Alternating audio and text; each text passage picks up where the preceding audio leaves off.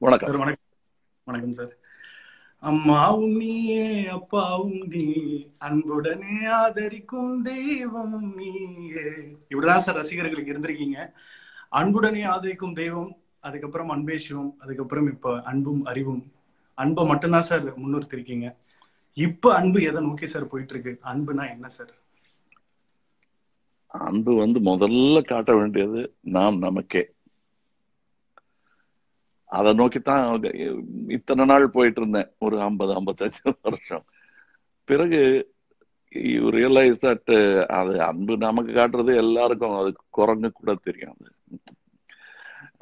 எல்லா மிருகங்களுக்கும் தெரிஞ்சது அதுல இருந்து அடுத்த கட்டத்திற்கு uh, செல்வது வந்து மற்றவர்களுக்கு நம் காட்டும் அன்பு.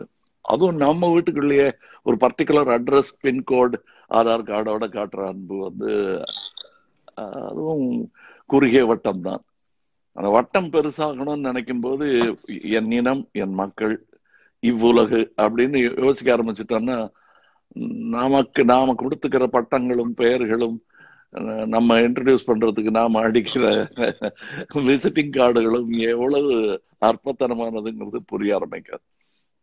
அது எனக்கு புரிய ஆரம்பிச்சு ரொம்ப நாள் ஆயிடுச்சு ஆனா அதை வெளியே சொல்றதுக்கு வெக்கம். ஏன்னா எல்லாருக்கும் புரியாத ஒண்ணு நமக்கு புரிஞ்சுட்டதா சொல்லிட்டு இருந்தோம்னா அது புரியலன்னு சொல்லிடுவாங்க பாருங்க. அதனால. Sir five years of Uttama Villain sir வாழ்த்துக்கள். இதே நாள் ஐந்து வருடங்களுக்கு முன்னாடி உத்தம வில்லன் ரிலீஸ் ஆச்சு. நன்றி நன்றி. சார் இப்போ வந்து கேள்வியெல்லாம் கேட்கறதுக்கு முன்னாடி சார் இந்த விருமாண்டியில காருக்கு கீழே படுத்துட்டு போவீங்களா சார் ஒவ்வொரு மாதிரி பாக் ஒரு வாட்டி அந்த சீன் பார்க்கும்போது உங்களுக்கு அடிபட்டுருச்சுன்னு தோணும். நிஜமாவே அப்ப அடிபட்டுச்சா இல்ல யூ ஃபைன் பட்டது பட்டது. பட் அது ரொம்ப ஜாக்கிரதையா அந்த விக்ரம் தர்மா என்ற என்னுடைய சகோதரன் அதாவது உயிர்காப்பான் தோழன்வாங்கல்ல அந்த மாதிரி ஒரு தோழர் அவரு. அவர் எனக்கு டூப் போட்டு நடிச்சுக்கிட்டு இருந்தவர். என் கால் ஒடிஞ்சு போச்சு. எல்லா காட்சியும் நானே பண்றேன்னு பண்ணிட்டு இருப்பேன் இப்போ. ஐ திங்க் கல்யாணராமன் சமயத்துல மல்டிபிள் ஃப்ராக்சர் குதிரையோட கீழே விழுந்து கால் ஒடிஞ்சு வச்சு அப்ப எனக்கு டூப் போடுறதுக்கு அப்ப கலர் வண்ணம் வந்துட்டு வந்துடுச்சு வழக்கமா அற்புதமா டூப் காட்சிகள்லாம் செய்யக்கூடிய மணின்னு ஒருத்தர் இருந்தாரு. ஆனா கலர் மேட்ச் ஆகாது எங்க ரெண்டு பேருக்கும். அதுக்காக இந்த பையன் கலர்ல இன்னொரு பையனை பிடிப்போம்னு அங்க நம்பியார் மாஸ்டருடைய பையன். தர்மம். தர்மசீலன்னு பேரு. அவரை கூட்டிட்டு வந்தாங்க அவர் எனக்கா நான் செய்ய வேண்டிய அபாயமகரமான காட்சிகள்லாம் அவர் செஞ்சு அடிபட்டுக்கிட்டதுனால எனக்கு ஒரு சிராய்ப்பு கூட வரக்கூடாதுங்கிறதுல ரொம்ப உன்னிப்பா இருப்பான். நாங்க ரெண்டு பேருமே எல்லா சண்டை காட்சிகளையும் திட்டம் போட்டு செயல்படுத்துவோம். எனக்கு தோழர்னா அது ரொம்ப எனக்கு தோளுக்கு மிஞ்சிய தோழனா மாறினார் அவரு. அவர் தான் அந்த காட்சியை எடுக்கும்போது பேடு போட்டுக்குங்க அப்படின்னாரு. கரெக்டா இருக்கேன் அளந்து பார்த்தோமே என்ன. வேணாம் சார் எதுக்கும் கொஞ்சம் போட்டுக்கங்கன்னாரு நான் ஒரு பேடை எடுத்து போட்டுக்கிட்டேன். வேணாம் சார் அந்த பெரிய பேடு சார். அதுலயே மாட்டிக்குமே என்ன. பரவாயில்ல சார் போடுங்க அவர் நினைச்ச மாதிரி ஓடுற வண்டியை வச்சு நாங்க பார்க்கல. கையால தள்ளி தள்ளி அளவு பார்த்ததுனால ஓடும்போது வர்ற குலுங்கல்ல ஒரு அமைக்க அமைக்க எடுத்துருச்சு. கண்ணெல்லாம் பிதுங்கிடுச்சு எனக்கு. அந்த பேடு மட்டும் இல்லைன்னா ஹாஸ்பிட்டல் தான் அன்னைக்கு அது கடினம் அந்த அது தெரியும். அது காட்சியில பார்க்கும் போதே கூட தெரியும். அதை நீங்க கவனிச்சதுதான் எனக்கும் தர்மாவுக்கும் கிடைச்ச வெற்றி. கஷ்டப்பட்டது சில சமயம் வீணா போயிடும் ஒரு வாட்டி பார்க்கும்போது லைட்டா வலிக்கும். சார் இப்போ முத படத்திலேயே பிரசிடென்ட் அவார்டு அதுக்கப்புறம் சார் ஆயிரத்தி தொள்ளாயிரத்தி அறுபத்தி மூணுல இருந்து எழுபது வரைக்கும் படங்கள் நடிக்கல. அப்போ என்ன அடுத்த ஐம்பது வருஷம் சினிமாக்கு அந்த ஏழு வருஷ தயார் நிலை எப்படி சார் இருந்தது அது அப்படிலாம் இப்ப சொல்லிக்கலாங்க. வாழ்க்கை நல்லபடியா அமைச்சிட்டதுக்கு அப்புறம் எங்க அப்பா சொல்லுவாரு. ஓரளவுக்கு படம் வர ஆரம்பிச்சதும் என்ன பட்டான் கூப்பிடுவாரு அவரு. பட்டன் மாதிரி இருப்பாங்க. நல்லா பட்டன் பட்டன் கூப்பிட்டு பட்டான்னு கூப்பிடுவாரு. அவர் சொல்லுவாரு டே நீ உன்னுடைய சுயசரிதை எழுதணும் அப்படின்னாரு. நீங்க தானே பொய் சொல்றத குறைச்சிக்கன்னு சொன்னீங்க. இப்ப மறுபடியும் பொய் சொல்ல சொல்றீங்களே அப்படின்னு கேட்டேன். இல்லடா எழுதலாம் எழுதலாம் அப்படின்னாரு. இன்னும் சான்ஸே வந்த பாடு இல்ல அதுக்குள்ள சுயசரிதைக்கு போயிட்டா அப்படின்ட்டா. இல்ல இல்ல இப்பல இருந்து ஆரம்பி ஆனா டெய்லி உன் கதையை நீ ஃப்ரெண்ட்ஸுக்கு சொல்லிக்கிட்டே இருக்கணும். அது எதுக்குன்னு? நீ வேணா பாரு ஒவ்வொரு நாள்ல உன் லைஃபே இம்ப்ரூவ் ஆயிடும். பெட்டர் ஆகிடுவேன் நீ. நடந்ததெல்லாம் மாத்தி மாத்தி சொல்லி உன்னுடைய லைஃபுக்கான ஒரு பெரும் காரணத்தையே நீ உருவாக்கிடுவ. அதுதான் சுயசரிதைங்கிறது என்றாரு. அதனால அந்த தப்பை நான் பண்ண விரும்பலைங்க. அந்த ஏழு வருஷம் என்ன செய்யறதுன்னு இருளில் மூழ்கி இருந்த நாட்கள்னு சொன்னா மிகையாகாது. அப்ப எனக்கு பெருந்துணையா இருந்தவங்க வந்து ராஜலட்சுமிங்கிற ஒரு கிளவி அந்த பொம்பளை மாத்திரம் இல்லைன்னா எங்க எந்த திசையில வழி தெரியாம சுத்திக்கிட்டு இருப்பேன்னு எனக்கு தெரியாது. பட் கூடவே நின்று அவங்களுக்கு மத்த பிள்ளை எல்லாம் படித்து முன்னேறி விட்ட வேளையில் இந்த பையன் இப்படி இருக்கானே எப்படி ஆயிடுவானேன்னு என்னாலேயே கொஞ்சம் வியாதி கூடி இருக்கும் அவங்களுக்கு. இருதய நோயெல்லாம் அதிகமா இருக்கலாம். பட் நான் என்ன கேட்டாலும் உனக்கு எது சரின்னு தோணுதோ அந்த இடத்துல போ என்ன ஸ்கூல் படிப்பை தொடர மாட்டேங்கிற சந்தேகம் அவங்களுக்கு வந்துருச்சு. திடீர்னு ஒரு நாளைக்கு நான் நடனம் கத்துக்கிறேன் யோசிச்சு சொல்லு சும்மா எதையாவது சொல்லாதே என்ன சமாளிக்கிறதுக்காக இல்ல நாளைக்கு காலையில எழுந்து அதை சொல்றியா பாப்பா அப்படின்னாங்க. அடுத்த நாள் காலையில எந்திரிச்சு அவங்க கிட்ட சொன்னேன். ஏன்னா நாங்க ஒரு நடன அரங்கேற்றம் பார்த்துட்டு வந்தோம் மியூசியம் தியேட்டர்ல. அது எனக்கு என்னமோ பெரிய தாக்கத்தை ஏற்படுத்தியது. அத அடுத்த நாள் காலையில சொன்னவங்க அதுக்கு அடுத்த நாள் அவங்களால எந்த ஒரு டான்ஸ் மாஸ்டருக்கு சம்பளம் கொடுக்க கொடுத்து கட்டுப்படி ஆகுமோ? அப்படிப்பட்ட ஒருத்தரை கூட்டிட்டு வந்து எல்டான்ஸ் ரோட்ல ஒரு சின்ன கிச்சன் டைனிங் இருக்கும். அந்த இடத்துல ஆரம்பிச்சது தான் அந்த டான்ஸ் அது நான் அவ்வளவு வெறியா அதுல பாய்வேன்னு எங்க அம்மா கூட நினைக்கல. இது ஏதோ திடீர்னு வந்த ஒரு ஒரு பென்ஷன்ட் அது ரொம்ப நாள் நீடிக்காதுன்னு. அப்படி அப்படியே அப்படியே போய் கொஞ்சம் படிப்பு இடைஞ்சலா இருக்கு என்னுடைய நடனத்துக்கு. அதை கொஞ்சம் வேணா நிறுத்திடட்டுமான்னு கேட்குற அளவுக்கு போயிடுச்சு அது. அதுக்கும் ரொம்ப எல்லாரும் பேசி அண்ணன் எல்லாரும் உட்காந்து பேசி சரி வரலன்னு அவனே சொல்லிட்ட போது நம்ம வற்புறுத்துறது தப்பு. மாட்டேங்கிறான். யூ கேன் uh, தண்ணிக்கு தண்ணியை குதிரை கிட்ட கொண்டு போகலாம் குதிரையும் தண்ணி கிட்ட கொண்டு போகலாம் ஆனா குடிக்க வைக்கிறது யாது அதனால அதை விட்டுறலாம் அப்படிங்கறத முடிவு எடுத்தாங்க அவங்க. எங்க அம்மாவுக்கு பதட்டமாயி போச்சு. இது எப்படி வேணா போகும் போல் இருக்கு இந்த பிள்ளையோட வாழ்க்கைட்டு முன்னாடி வாசல்ல கடைகள்லாம் கட்ட ஆரம்பிச்சாங்க. அந்த வீட்டுக்கு வாசல்ல ஒரு தொண்ணூத்தஞ்சு அடி. என்னதான் அழக சொன்னாங்க. தொண்ணூத்தஞ்சு அடி இருந்தா அவங்களே கணக்கு போட்டு எத்தனை கடை கட்டலாம்னு. இது எதுக்கு இது அப்படின்னு கேட்டேன். விளங்காம போயிட்டேன்னா இந்த வாடகை வச்சாவது நீ பொழைச்சிக்கலாம்னு. அது அதுக்காக கட்டின கடை தான். நான் எனக்கு நான் நடிகனானதுக்கு அப்புறம் கூட அந்த கடையெல்லாம் இருந்துச்சு. அந்த கடையை என்னுடைய ஆபீஸா மாத்தணுங்கிறது தான் தற்காலிக ஒரு குறிக்கோளா இருந்தது. அது என்னோட ஆபீஸா மட்டும் ஆகல. இன்று என் மக்களின் ஆபீஸாவும் மாறிடுச்சு அது. அந்த. கடையில் தான் கைவசம் நம்ம கிட்ட ஒரு தாடி இருக்கு சார். அது இப்ப காட்ட போறேன் சார். ஆனா அதுக்கு முன்னாடி ஒரு ஒரு டவுட் சார். ஒவ்வொரு முறையும் நீங்க நடிக்கும்போது இது ஒரு அபார செயலா இருக்கே இவர் மனுஷனா அப்படின்னு கேட்க தோணுது. அதனால அது தெய்வ செயல்னு யாரும் நினைச்சிடக்கூடாதுல்ல சார். அதுக்காக what it takes to become Kamal Haasan sir. ரொம்ப ஒரு அல்ப சந்தோஷத்துல கேட்கிறேன் சார். வாட் இட் டேக்ஸா ஆமா சார். சார் அது எத்தனை குருமார்களை நான் இங்க லிஸ்ட் போடணும் தெரியுமா? எங்க அம்மால இருந்து ஆரம்பிச்சு எங்க அண்ணன் சந்திரஹாசன் இதுக்கு என்ன ஸ்டூடியோ கூட்டிட்டு போறது என்னுடைய வசனங்கள்லாம் சரி பார்க்கிற என்னுடைய சகோதரி குடும்பமே உட்கார்ந்து சரி பார்த்துட்டு இருப்பாங்க. நடிச்சு முடிச்ச காட்சியை நிம்மதியா வந்து படுத்து தூங்குவோம்னு இருக்க முடியாது. இப்படி பேசியிருக்கலாமே அப்படி பேசியிருக்கலாமே அதை விவாதம் பண்ணுவாங்க வீட்டுல எங்க அப்பா உள்பட நான் மேடை பேச்சுக்கு நூறாவது நாள் விழாவுக்கெல்லாம் என்ன எல்லா இடத்துக்கும் ஏவிஎம் கூட்டிட்டு போனாங்க. வழக்கமா அந்த குழந்தை நட்சத்திரங்கள்லாம் கூட்டிட்டு போக மாட்டாங்க. ஒவ்வொரு ஊருக்கும் எங்க ஏரியால இருக்கிற ஊர்கள் எல்லா இடத்துக்கும் கூட்டு போனாங்க. அங்க ஒவ்வொரு மேடையில ஒவ்வொரு மாதிரி பேசணுங்கிறதுக்காக எங்க அப்பா தான் ஸ்பீச் ரைட்டர் அவரு. அங்க பழக்கமான ஸ்பீச் இன்னைக்கும் கொஞ்சம் கை கொடுக்குதுன்னு வச்சுக்கலாம். அதுல இருந்து ஆரம்பிச்சு எனக்கு கிடைத்த அந்த வாய்ப்புகள் இருக்கு இல்லையா?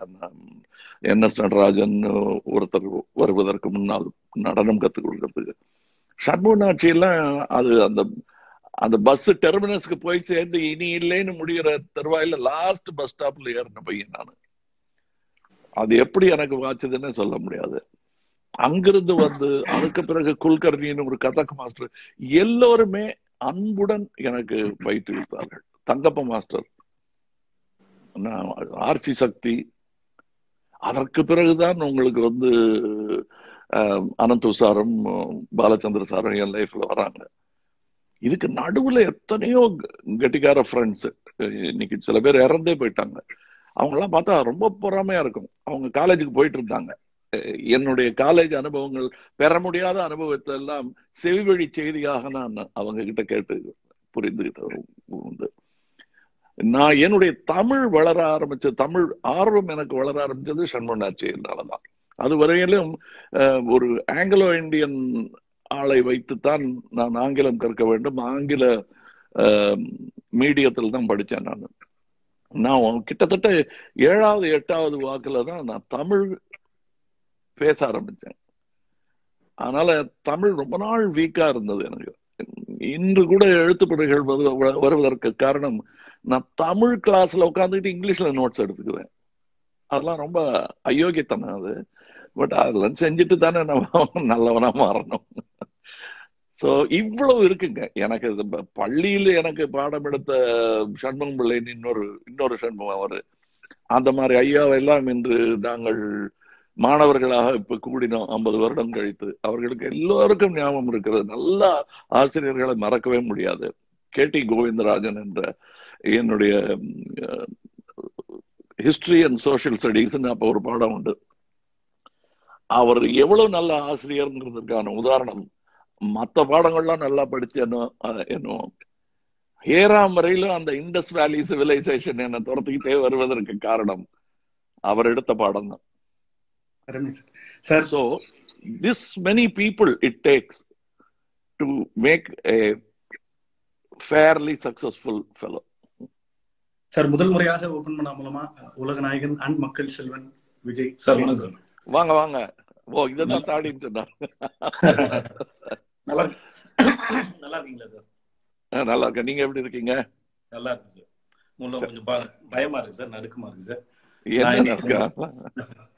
இன்னைக்கு நான் நீங்க முதல் முறையா நீங்க வருவதற்கான காரணத்தை முதல்ல சொல்லி. நான் ஒரு கதை சொல்லட்டுமா? சொல்லுங்க சார். நான் எங்கிறது வேணா நல்லதை எடுத்துக்குவேன். அதனால நான் ஒரு கதை சொல்லட்டுமான்னு உங்க கதையே சொல்றேன் நான். எனக்கு ரொம்ப அதாவது நீங்க இந்த பிக் பாஸ் நிகழ்ச்சியின் போது ஒண்ணு சொன்னீங்க. அடுத்த தலைமுறைக்கு எப்படி எடுத்துட்டு போறீங்க? உங்களுடைய நீங்கள் பெற்றதை கற்றதை எப்படி அடுத்த தலைமுறைக்கு கொண்டு போறீங்கிற மாதிரி ஒரு கேள்வி கேட்டீங்க. அதுக்கப்புறம் யோசிச்சு பார்த்தேன் ஐயோ நல்ல ஆழமான கேள்வியா இருக்க எப்படி அப்படின்னா அதுக்கு பதில் நீங்களே தான்.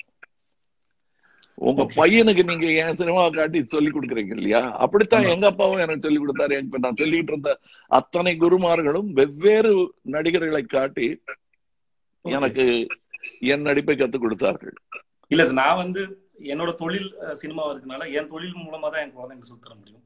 அதனால அது எப்படி யோசிக்கப்பட்டது ஒரு காட்சி எப்படி யோசிச்சிருக்காங்க என்னெல்லாம் அதுல நுவான்சஸ் இருக்கு அதை வச்சுதான் எப்படி ஆழமா ஒரு படத்தை பார்க்கணும் அப்படின்னு அந்த ஒரு படத்தை ஆழமா பாக்குறது மூலமா அவங்களோட பேசிக் சென்ஸ் சென்சிபிலிட்டி கூட நான் நம்புறேன். ஏன்னா உங்க படங்கள் அவ்வளவு சென்சிபிலிட்டிஸ் இருக்கு. ஏன்னா நான் அன்னைக்கு நான் பிக் பாஸ் நிகழ்ச்சியில அது உங்களோட அறுபது கமல் சார் சிக்ஸ்டில தான் நான் பேச நினைக்கிறேன். அந்த உங்களோட நீங்க வேலை பார்த்ததெல்லாம் தெரிஞ்சுக்கணும். அது தலைமுறை கொண்டு போகணும் அப்படின்னு ஆசைப்படுறதெல்லாம் ஏன்னா எங்களுக்கு கத்துக்கிறதுக்கு வேற எதுவுமே இல்லை. ஸோ உங்களோட நீங்க ஒர்க் பண்ண ஒரு காட்சிக்கு பின்னாடி நீங்க வேலை பார்த்த அந்த அனுபவங்கள்லாம் தெரியும் போது அதோட சின்சியாரிட்டி அதை எவ்வளவு யோசிச்சிருக்கீங்க? அதெல்லாம் வந்து சேரணும்னு ஆசைப்பட்டேன். அதனாலதான் எல்லா நடிகர்களுக்கும் வரக்கூடிய அந்த கேள்வி உங்க பையனுக்கு இருக்கும் உங்களுக்கு இருந்திருக்கும் எனக்கு இருந்தது இன்னமும் கூட இருக்கு. சண்முனாச்சி நாடகத்தில் நடிக்கும் பொழுது பிரமாதமான ஒத்திகை முறை அவங்களது. முதல் பத்து நாள் வந்து ஸ்கிரிப்டை எல்லாருக்கும் மனப்படம் ஆயிரும். உட்காந்து படிப்போம். அதுக்கப்புறம் எந்த வேடம் யாருக்குங்கிறத அப்புறமா தான் சொல்லுவாரு. அதுக்கப்புறம் சொன்னதும் அதை திருப்பி எங்களோட பாடங்களை மாத்திரம் சரியா படிச்சுக்குவோம். அதுக்கு பிறகு எந்திரிச்சு நிக்க வைப்பாரு. அப்ப நான் ஒரு கேள்வி கேட்டேன். இந்த கையை எங்க வச்சுக்கிறதுங்க ஐயா? ஏன்னா பட்டனை திருகுவேன் பாக்கெட்ல கையை விட்டுக்குவேன் பின்னாடி கையை கட்டிக்குவேன். இல்ல இப்படி நிக்கலாமா? பெரிய சந்தேகம் வந்துடும் அவர் சொன்னார் அந்த கேள்விய நீ கேட்கறத நிறுத்திட்டேன்னா நடிகன் ஆயிட்டேன்னு அர்த்தம். அந்த கை இருக்கிறது தெரியாம போயிடணும் உனக்கு.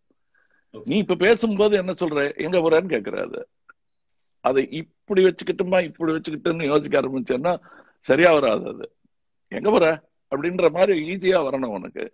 அது வராத வரலும் ரெண்டு கசாப்ப தூக்கிக்கிட்டு நடக்கிற நீ. மட்டன் பீஸ் அது. அப்ப கைய நல்லா ஆட்டி பேசணுமாயா அப்படின்னு கேட்டபோது அவர் ஒரு பேர் உதாரணம் சொன்னாரு. விகேஆர்னு ஒரு நடிகரை பார்த்திருக்கியா நீ? அப்படின்னாரு. ஆமாங்க பார்த்திருக்கேன். அவர் கையே ஆட்ட மாட்டாரு கவனிச்சியான்னாரு. அத நான் விகேஆர்ட்ட போய் கேக்குறேன் நானு. நடிகை நான் அதுக்கு ஒரு நட்சத்திரமான பிறகு கேக்குறேன். இப்படி சொன்னாருங்க. அப்படியா சொன்னாரு? நானே கவனிக்கலையப்பா. ரொம்ப எல்லாம் நான் கையெல்லாம் ஆட்டி அவ்வளவு பெரிய நடிகை கிடையாது. நமக்கு எதுக்கு அந்த வம்புன்னு? சும்மா அசால்ட்டா நமக்கு வர்றது வாசனம். அதை மாத்திரம் பேசிட்டு போலான்னு பண்ணதுலதான் அது ஒரு பாணியா போச்சுன்னு நினைக்கிறேன் அப்படின்னாரு அவரு. அவர் ரொம்ப ரொம்ப அதான் வாங்க வாங்க. இப்படி உட்காருங்கன்னு கையை இப்படி காட்டெல்லாம் மாட்டாரு அவரு. அது ரொம்ப அந்த மாதிரி சின்ன சின்ன பாடங்கள். நாகேஷ் ராதாண்ண. இப்ப உங்களை பார்த்து படிக்கிறதுக்கு நிறைய பேர் வந்திருப்பாங்கப்பா. எனக்கு எனக்கு என்ன பிடிக்குது உங்ககிட்ட அப்படின்னா ஏன் உங்களை தே தேர்வது அப்படிங்கிறது வந்து நிறைய சகோதரர்கள் இருக்காங்க.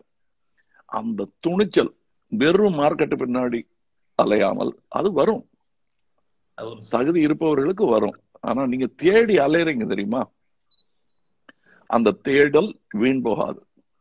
நன்றி சார். ரொம்ப ரொம்ப பெரிய முக்கியமா அத முதுகுல எனக்கு தட்டி கொடுக்க அனந்து மாதிரி ஒருத்தர் இருந்தாரு. எனக்கெல்லாம் அப்ப வந்து நம்ம பத்திய ஒரு கழிப்பு நமக்கு கொஞ்சம் அதிகமாவே இருக்கும். மத்தவங்களுக்கு இருக்கிறத விட. நான் எவ்வளவு பெரிய கெட்டிக்காரன் என்ன மதிக்க மாட்டேங்கிறாங்களேங்கிறது எல்லாரும் மனசுலயும் இருக்கிற அது- எனக்கு இது மேல ஒரு கேள்வி. இப்போ நீங்க சொன்னீங்க மார்க்கெட்டுக்கு பின்னாடி ஓடாம நம்ம மேல நமக்கு இருக்கிற நம்பிக்கை அது. அன்னைக்கு நீங்க பண்ணும்போது அது மேல நிறைய விமர்சனங்கள் உங்களோட ஐடியா மேல படங்கள் மேல. ஏன்னா இன்னைக்கு அந்த படங்கள் பார்க்கும்போது அது மேல நீங்க எவ்வளவு எஃபர்ட் போட்டிருக்கீங்க எவ்வளவு டீடைல் பண்ணிருக்கீங்க இப்ப பார்க்கும்போது புரியுது. நான் அன்னைக்கு மேடையில சொல்லும்போது சொல்லியிருந்தேன். உங்க படங்களை பார்த்து புரிஞ்சுக்கிறதுக்கு இவ்வளவு வயசாயிடுச்சு அப்படின்னு நான் அன்னைக்கு பேசினேன் சோ அது நீங்க. சென்ஸ் ஆகும் இல்ல. இல்ல அது விமர்சனம் வைக்கும் போது விமர்சனம் வைக்கப்படும் போது அதை எப்படி அதை எப்படி ஃபேஸ் சார் அந்த விமர்சனத்தெல்லாம் மதிச்சதே கிடையாது. ஏன்னா அது ஒரு காதல்னு வந்துட்ட பிறகு விமர்சனம் வந்து ஒண்ணாம் கிடையாது அடுத்த- அப்பா சொன்னாலும் எடுபடாது அம்மா சொன்னாலும் எடுபடாது. காதல் காதல் தான் அது வீட்டை விட்டு ஓடி போயிருவேன்மா அந்த மாதிரி தான் எனக்கு. அப்படி ஒரு இது நான் பக்கத்துல நான் என்ன அனந்து சார்ட்ட பல முறை சொல்லியிருக்கேன். எனக்கு போதும் சார் சினிமா வேணும். நான் டெக்னீஷியனை தானே வரணும்னு நினைச்சேன். என்னை கொண்டு போய் ஒரு நடிகனா மாத்தி விட்டாரு. இப்ப என்ன பண்றது தெரியல தற்கொலை பண்ணிட்டுமா அப்படின்னு கூட கேட்டிருக்கேன். படா லூசு. என்ன வேணும் உனக்கு என்ன? ஏன் வித்தியாசமான படங்கள் பண்ணணும்? அது பாலச்சந்திர விட்டா வேற யாரும் பண்ண மாட்டேங்கிறாங்க. காசு சம்பாதிக்க நான் அது செய்ய வேண்டிய அவசியம் என்ன? பசி பட்னிக்காக நான் வேலைக்கு வரலையே அப்படின்னு சொன்ன போது அப்பதான் மலையாள படம் பண்றீங்க அப்ப அதை நிறைய பண்றேன் அப்படியே திரும்பிட்டேன். மலையாள படத்துக்கு போயிட்டேன் நான். அது எனக்கு கொடுத்த கல்வி இது ஒரு எல்லாரும் நான் கேரளா போகும்போது மலையாள படத்துக்கு நன்றி சொல்வேன். தமிழ்நாட்டுக்கு வந்ததும் தமிழ் படத்துக்கு நன்றி சொல்வேன் அப்படின்னு நினைப்பாங்க. என்னை செதுக்கியதுல பாலச்சந்தருக்கும் மலையாள சினிமா உலகத்திற்கும் பெரிய பங்கு உண்டு. அங்கதான் இந்த எக்ஸ்பெரிமெண்ட் எல்லாத்துக்கும் ஒரு அனுமதி உண்டு. மக்கள் கொடுத்த அனுமதி அது அத வந்து இருக்காங்க அந்த மக்கள். அதை நம்பி தேடி போகக்கூடிய கலைஞர்கள் இருக்கணும். அதுக்கு காரணம் கேரளா பீப்புள்ஸ் ஆர்ட் சென்டர்னு ஒண்ணு அங்கே இருந்தது. அது கூட இருக்கலாம். இங்க அந்த மாதிரி எல்லாம் இல்லாம வெறும் நின்னு ஜோக் அடிக்கிற நாடகங்களாக மாறிடுச்சு அங்க. சோ நாடக பயிற்சிங்கிறது வந்து முடிஞ்சு போச்சு. பாலச்சந்தரோட முடிஞ்சு போச்சு. சோசாரே ஒரு ஒரு நகைச்சுவை நாடகங்கள் தான். சோ அழுத்தமான நாடகங்கள்ங்கிறது இல்லாமலே போயிடுச்சு. அது கோமல் சாமிநாதன் நாங்கள்லாம் கூட பேசியிருக்கோம். சோ இந்த தேடல் உங்ககிட்ட நான் பாக்குறேன். நன்றி நீங்க செய்த வேடங்கள்லாம் அந்த காலத்துல செய்யவே விட மாட்டாங்க. செஞ்சா அதுக்கப்புறம் வேற வேஷம் செய்ய முடியாது. ஆனா நீங்க எல்லாத்தையும் பிரேக் பண்ணிருக்கீங்க. நீங்க உடைச்சிட்டு அந்த அந்த காலத்துல என்ன முடியுமோ அதை பண்ணிருக்கேன். அது அடுத்த கட்டத்துக்கு நீங்க போகணும். எம்ஜிஆர்கிட்ட பேசும்போது ஒரு வாட்டி நான் சொன்னேன் ஐயா நீங்க சீஃப் மினிஸ்டர் ஆயிட்டீங்க நேரம் இருக்காது. பட் என் நல்ல படம் வரும்போது சொல்றேன். அதை நீங்க கொஞ்சம் தயவு செய்து வந்து பார்க்கணும் அப்படின்னு. ஓ நல்லா இல்லாத படமும் பண்றியா நீ? அப்படின்னா. அது பெரிய பாடம் அது. இல்லைங்கய்யா அது எப்படின்னு தெரியல. நீங்க பண்ணதெல்லாம் எது எது வெற்றி பெறும்னு பார்த்து பண்ணோம் ஏன் ஏன் நான் ஏறின படியிலேயே ஏன் ஏன் ஏறிக்கிட்டு இருக்க? நான் கட்டினதே அந்த படிகள் நான் ஏறணும்னு தான். முடியல வேலை முடியல. அது இருக்க. அடுத்த படிக்கு போ. அப்படின்னு சொன்ன போது எனக்கு ரொம்ப ஆச்சரியமா இருந்தது. சிவாஜி சாரும் சரி திலீப் குமார் சாரும் சரி இவங்க எல்லாம் அந்த அடுத்த கட்டத்துக்கு உந்தி தள்ளுகிறார்கள். அதே தான் நான் உங்களுக்கும் சொல்றேன். நீங்க அந்த காலத்திலே பண்ணிட்டீங்கன்னு சொல்றது வந்து எனக்கு வேணா இப்போது பெருமையா இருக்கலாம். ஆனா நீங்க அடுத்த கட்டத்துக்கு போயே ஆகணும். அப்பதான் நீங்க அடுத்த தலைமுறை. அது அது போயிட்டு இருக்கீங்க நீங்கெல்லாம். அதை இன்னும் தைரியமா புஷ் பண்ணுங்க. நாங்கெல்லாம் அறுந்து விசில் அடிக்கிறோம் உங்களுக்கு. சார் நான் இன்னைக்கு உங்கள்கிட்ட பேச போறேன் சார். நிறைய நண்பர்கள்ட்ட எல்லாம் கேட்டிருந்தேன். நிறைய பேர் அவங்க கேள்வி எல்லாம் கேட்டிருக்காங்க. சோ அதுல நான் ஒன்னொன்னா உங்கள்ட்ட கேட்க விரும்புறேன் சார். அது முக்கியமானது இவர் அபி கேட்டது மாதிரி தான் நீங்க இப்ப நிறைய குருமார்கள் இருந்தாங்க சொல்லி கொடுத்தாங்க. அதன் மூலமா கத்துக்கிட்டு வந்திருந்தாலும் நிறைய பேர் சொல்லி கொடுத்தா நம்ம எந்த பாதையில போறது தேர்ந்தெடுக்கிறது நம்மளோட சாய்ஸ் ஏன்னா வெற்றி அடையக்கூடிய படங்கள் நான் பணம் சம்பாதிக்க மார்க்கெட் நோக்கி ஓடலைன்னா கூட எந்த பக்கமா என்ன செலுத்துறேங்கிற ஒரு ரசனை ஒரு நீங்க தேர்ந்தெடுத்தீங்க. ஒரு ரசனையை ஒரு தேர்ந்தெடுத்தீங்க. இந்த மாதிரி இருக்க விரும்புறேன். இந்த நாலேஜ்ல போக விரும்புறேன். வெதர் அது வந்து சக்சஸ் ஆகுமா இல்லையான்னு கூட தெரியாம அந்த நாலேஜ்ல போக விரும்புறேன்னு நினைக்கிற அந்த சிந்தனை எங்க ஆரம்பிச்சது? அது எங்க தொடங்கிச்சு? எனக்கும் பாலுமேந்திரா அவர்களுக்கும் ஏற்பட்ட நட்பு அனந்துவுடன் ஏற்பட்ட நட்பு பாலச்சந்தர் அவர்கள் ஏற்கனவே ஒரு மலை அவரு. அதுல விளையாடுறதுக்கு நிறைய இடம் கொடுத்தாரு எங்களுக்கு. முப்பத்தாறு படம் அவர்களோட சோ அது ஒரு தனி பாதை இருக்கும்போது ஒரு கூட்டம் பாலச்சந்தர் சாருடைய அடுத்த கட்டத்துக்கு சினிமா எடுத்துட்டு போகணுங்கிற ஆர்வத்துல இருந்தவங்க புனே பிலிம் இன்ஸ்டியூட்ல படிச்சுட்டு வந்தவங்க. பாலுமேந்திரா அப்படிப்பட்டவர் தான். ஒரு கேமராமேனா நான் மலையாள படத்துல டெக்னீஷியனா ஒர்க் பண்ணிட்டு இருக்கும்போது அவர் வந்து பழக்கமானாரு. சோ நட்பு அப்படியே வளர வளர என்ன ஒரு நடிகனா அவர் பார்க்க ஆரம்பிச்சாரு. பாலச்சந்தர் எப்படி பாக்குறாரோ அப்ப நான் கேட்டேன் பேசாம எல்லாத்தையும் நிறுத்திட்டு என்ன எப்படியாவது சிபாரிசு பண்ணீங்கன்னா நான் போய் மறுபடியும் பிலிம் இன்ஸ்டியூட்ல சேர்ந்துடலாமான்னு இருக்கேன். ஐயா அதெல்லாம் பண்ணாத. நீ கால் வச்சுட்ட இங்க. வழுக்காம கால் வச்சுட்ட. இப்போ ஏதாவது சந்தேகம் இருந்தா என்கிட்ட கேளு. உனக்கு என்ன தெரிஞ்சுக்கணும்? சினிமாட்டோகிராஃபி தெரியணும் அப்படின்னு. நான் சொல்லி தரேன். நான் எப்பவும் பாலுமேந்திரா என் படத்துக்கு கேமராமேனா இருந்தா நான் கேமரா நின்றுட்டு இருப்பேன். ஷார்ட் இல்லைன்னா. நானு திரு பரதன் அவர்கள் பாலுமேந்திரா அவர்கள் இவங்க எல்லாம் கூட உட்கார்ந்து இருக்கும்போது பாலுமேந்திராவுடைய கோபம் இந்த கமர்ஷியல் சினிமா மேல ரொம்ப ஜாஸ்தி இருந்தது அப்ப. நான் அவங்களோட பேசிக்கிட்டே இருக்கும்போது இவங்க பொழப்பில்லாம கெடுத்துருவாங்க இவங்களுக்கு இந்த ரெண்டு பேருங்கிற பயம் வந்துருச்சு எனக்கு. ஏன்னா இப்படியே போனோம்னா அப்புறம் எங்க டெல்லி ஆர்ட் பிலிம் அவார்டு அப்படித்தான் வாங்கிட்டு இருக்கணும். நான் அவங்க கூட சண்டை போடுவேன். சாப்ளின் ஒரு பெரிய ஒரு முக்கியமான உந்தல் என்னுடைய லைஃப்ல சார்லி சாப்ளின் அது ஏன் அப்படிப்பட்ட படங்களை நம்ம பண்ணக்கூடாது? அவர் சீரியஸும் பண்ணியிருக்காரு மக்களுக்கு சென்றடைகிற படத்தை எடுத்துட்டா என்ன அவமானம்? சினிமா தரம் குறையாமல் மக்களுக்கும் சென்று அடைந்தால் அது அப்படி பண்ணவே முடியாது. இவங்க கிட்ட போனா கோடமங்கலத்துல கவுத்தி விட்டுருவாங்க உன்னை அப்படின்லாம் சொன்னாரு. ஆனால் அதைத்தான் அவரும் நானும் சேர்ந்து செஞ்சோம். அது மூன்றாம் பிறைங்கிறது. Okay okay okay. மக்களையும் சென்று சில்வர் ஜூப்ளின்னு ஒரு ஷீல்டையும் கையில கொடுத்துட்டாங்க. சோ ஒரு இவங்க படம்- தான் வந்து ரொம்ப முக்கியமான காரணம். அதனாலதான் நான் சகலகலாவலன் வந்து எல்லாரும் திட்டுவாங்க. பாலு மகேந்திராவே திட்டுவாரு. நானும் கூட சேர்ந்து திட்டினேன். ஏன்னா அவமானமா போச்சு. என்னடா அது இப்படி திட்டுறாங்களே ஃப்ரெண்ட்ஸ் எல்லாம்னு. அப்புறம் யோசிச்சு பார்த்தேன் அந்த வழியை நான் தொடவில்லை என்றால் ராஜ்கமலே ஆரம்பிச்சிருக்க முடியாது.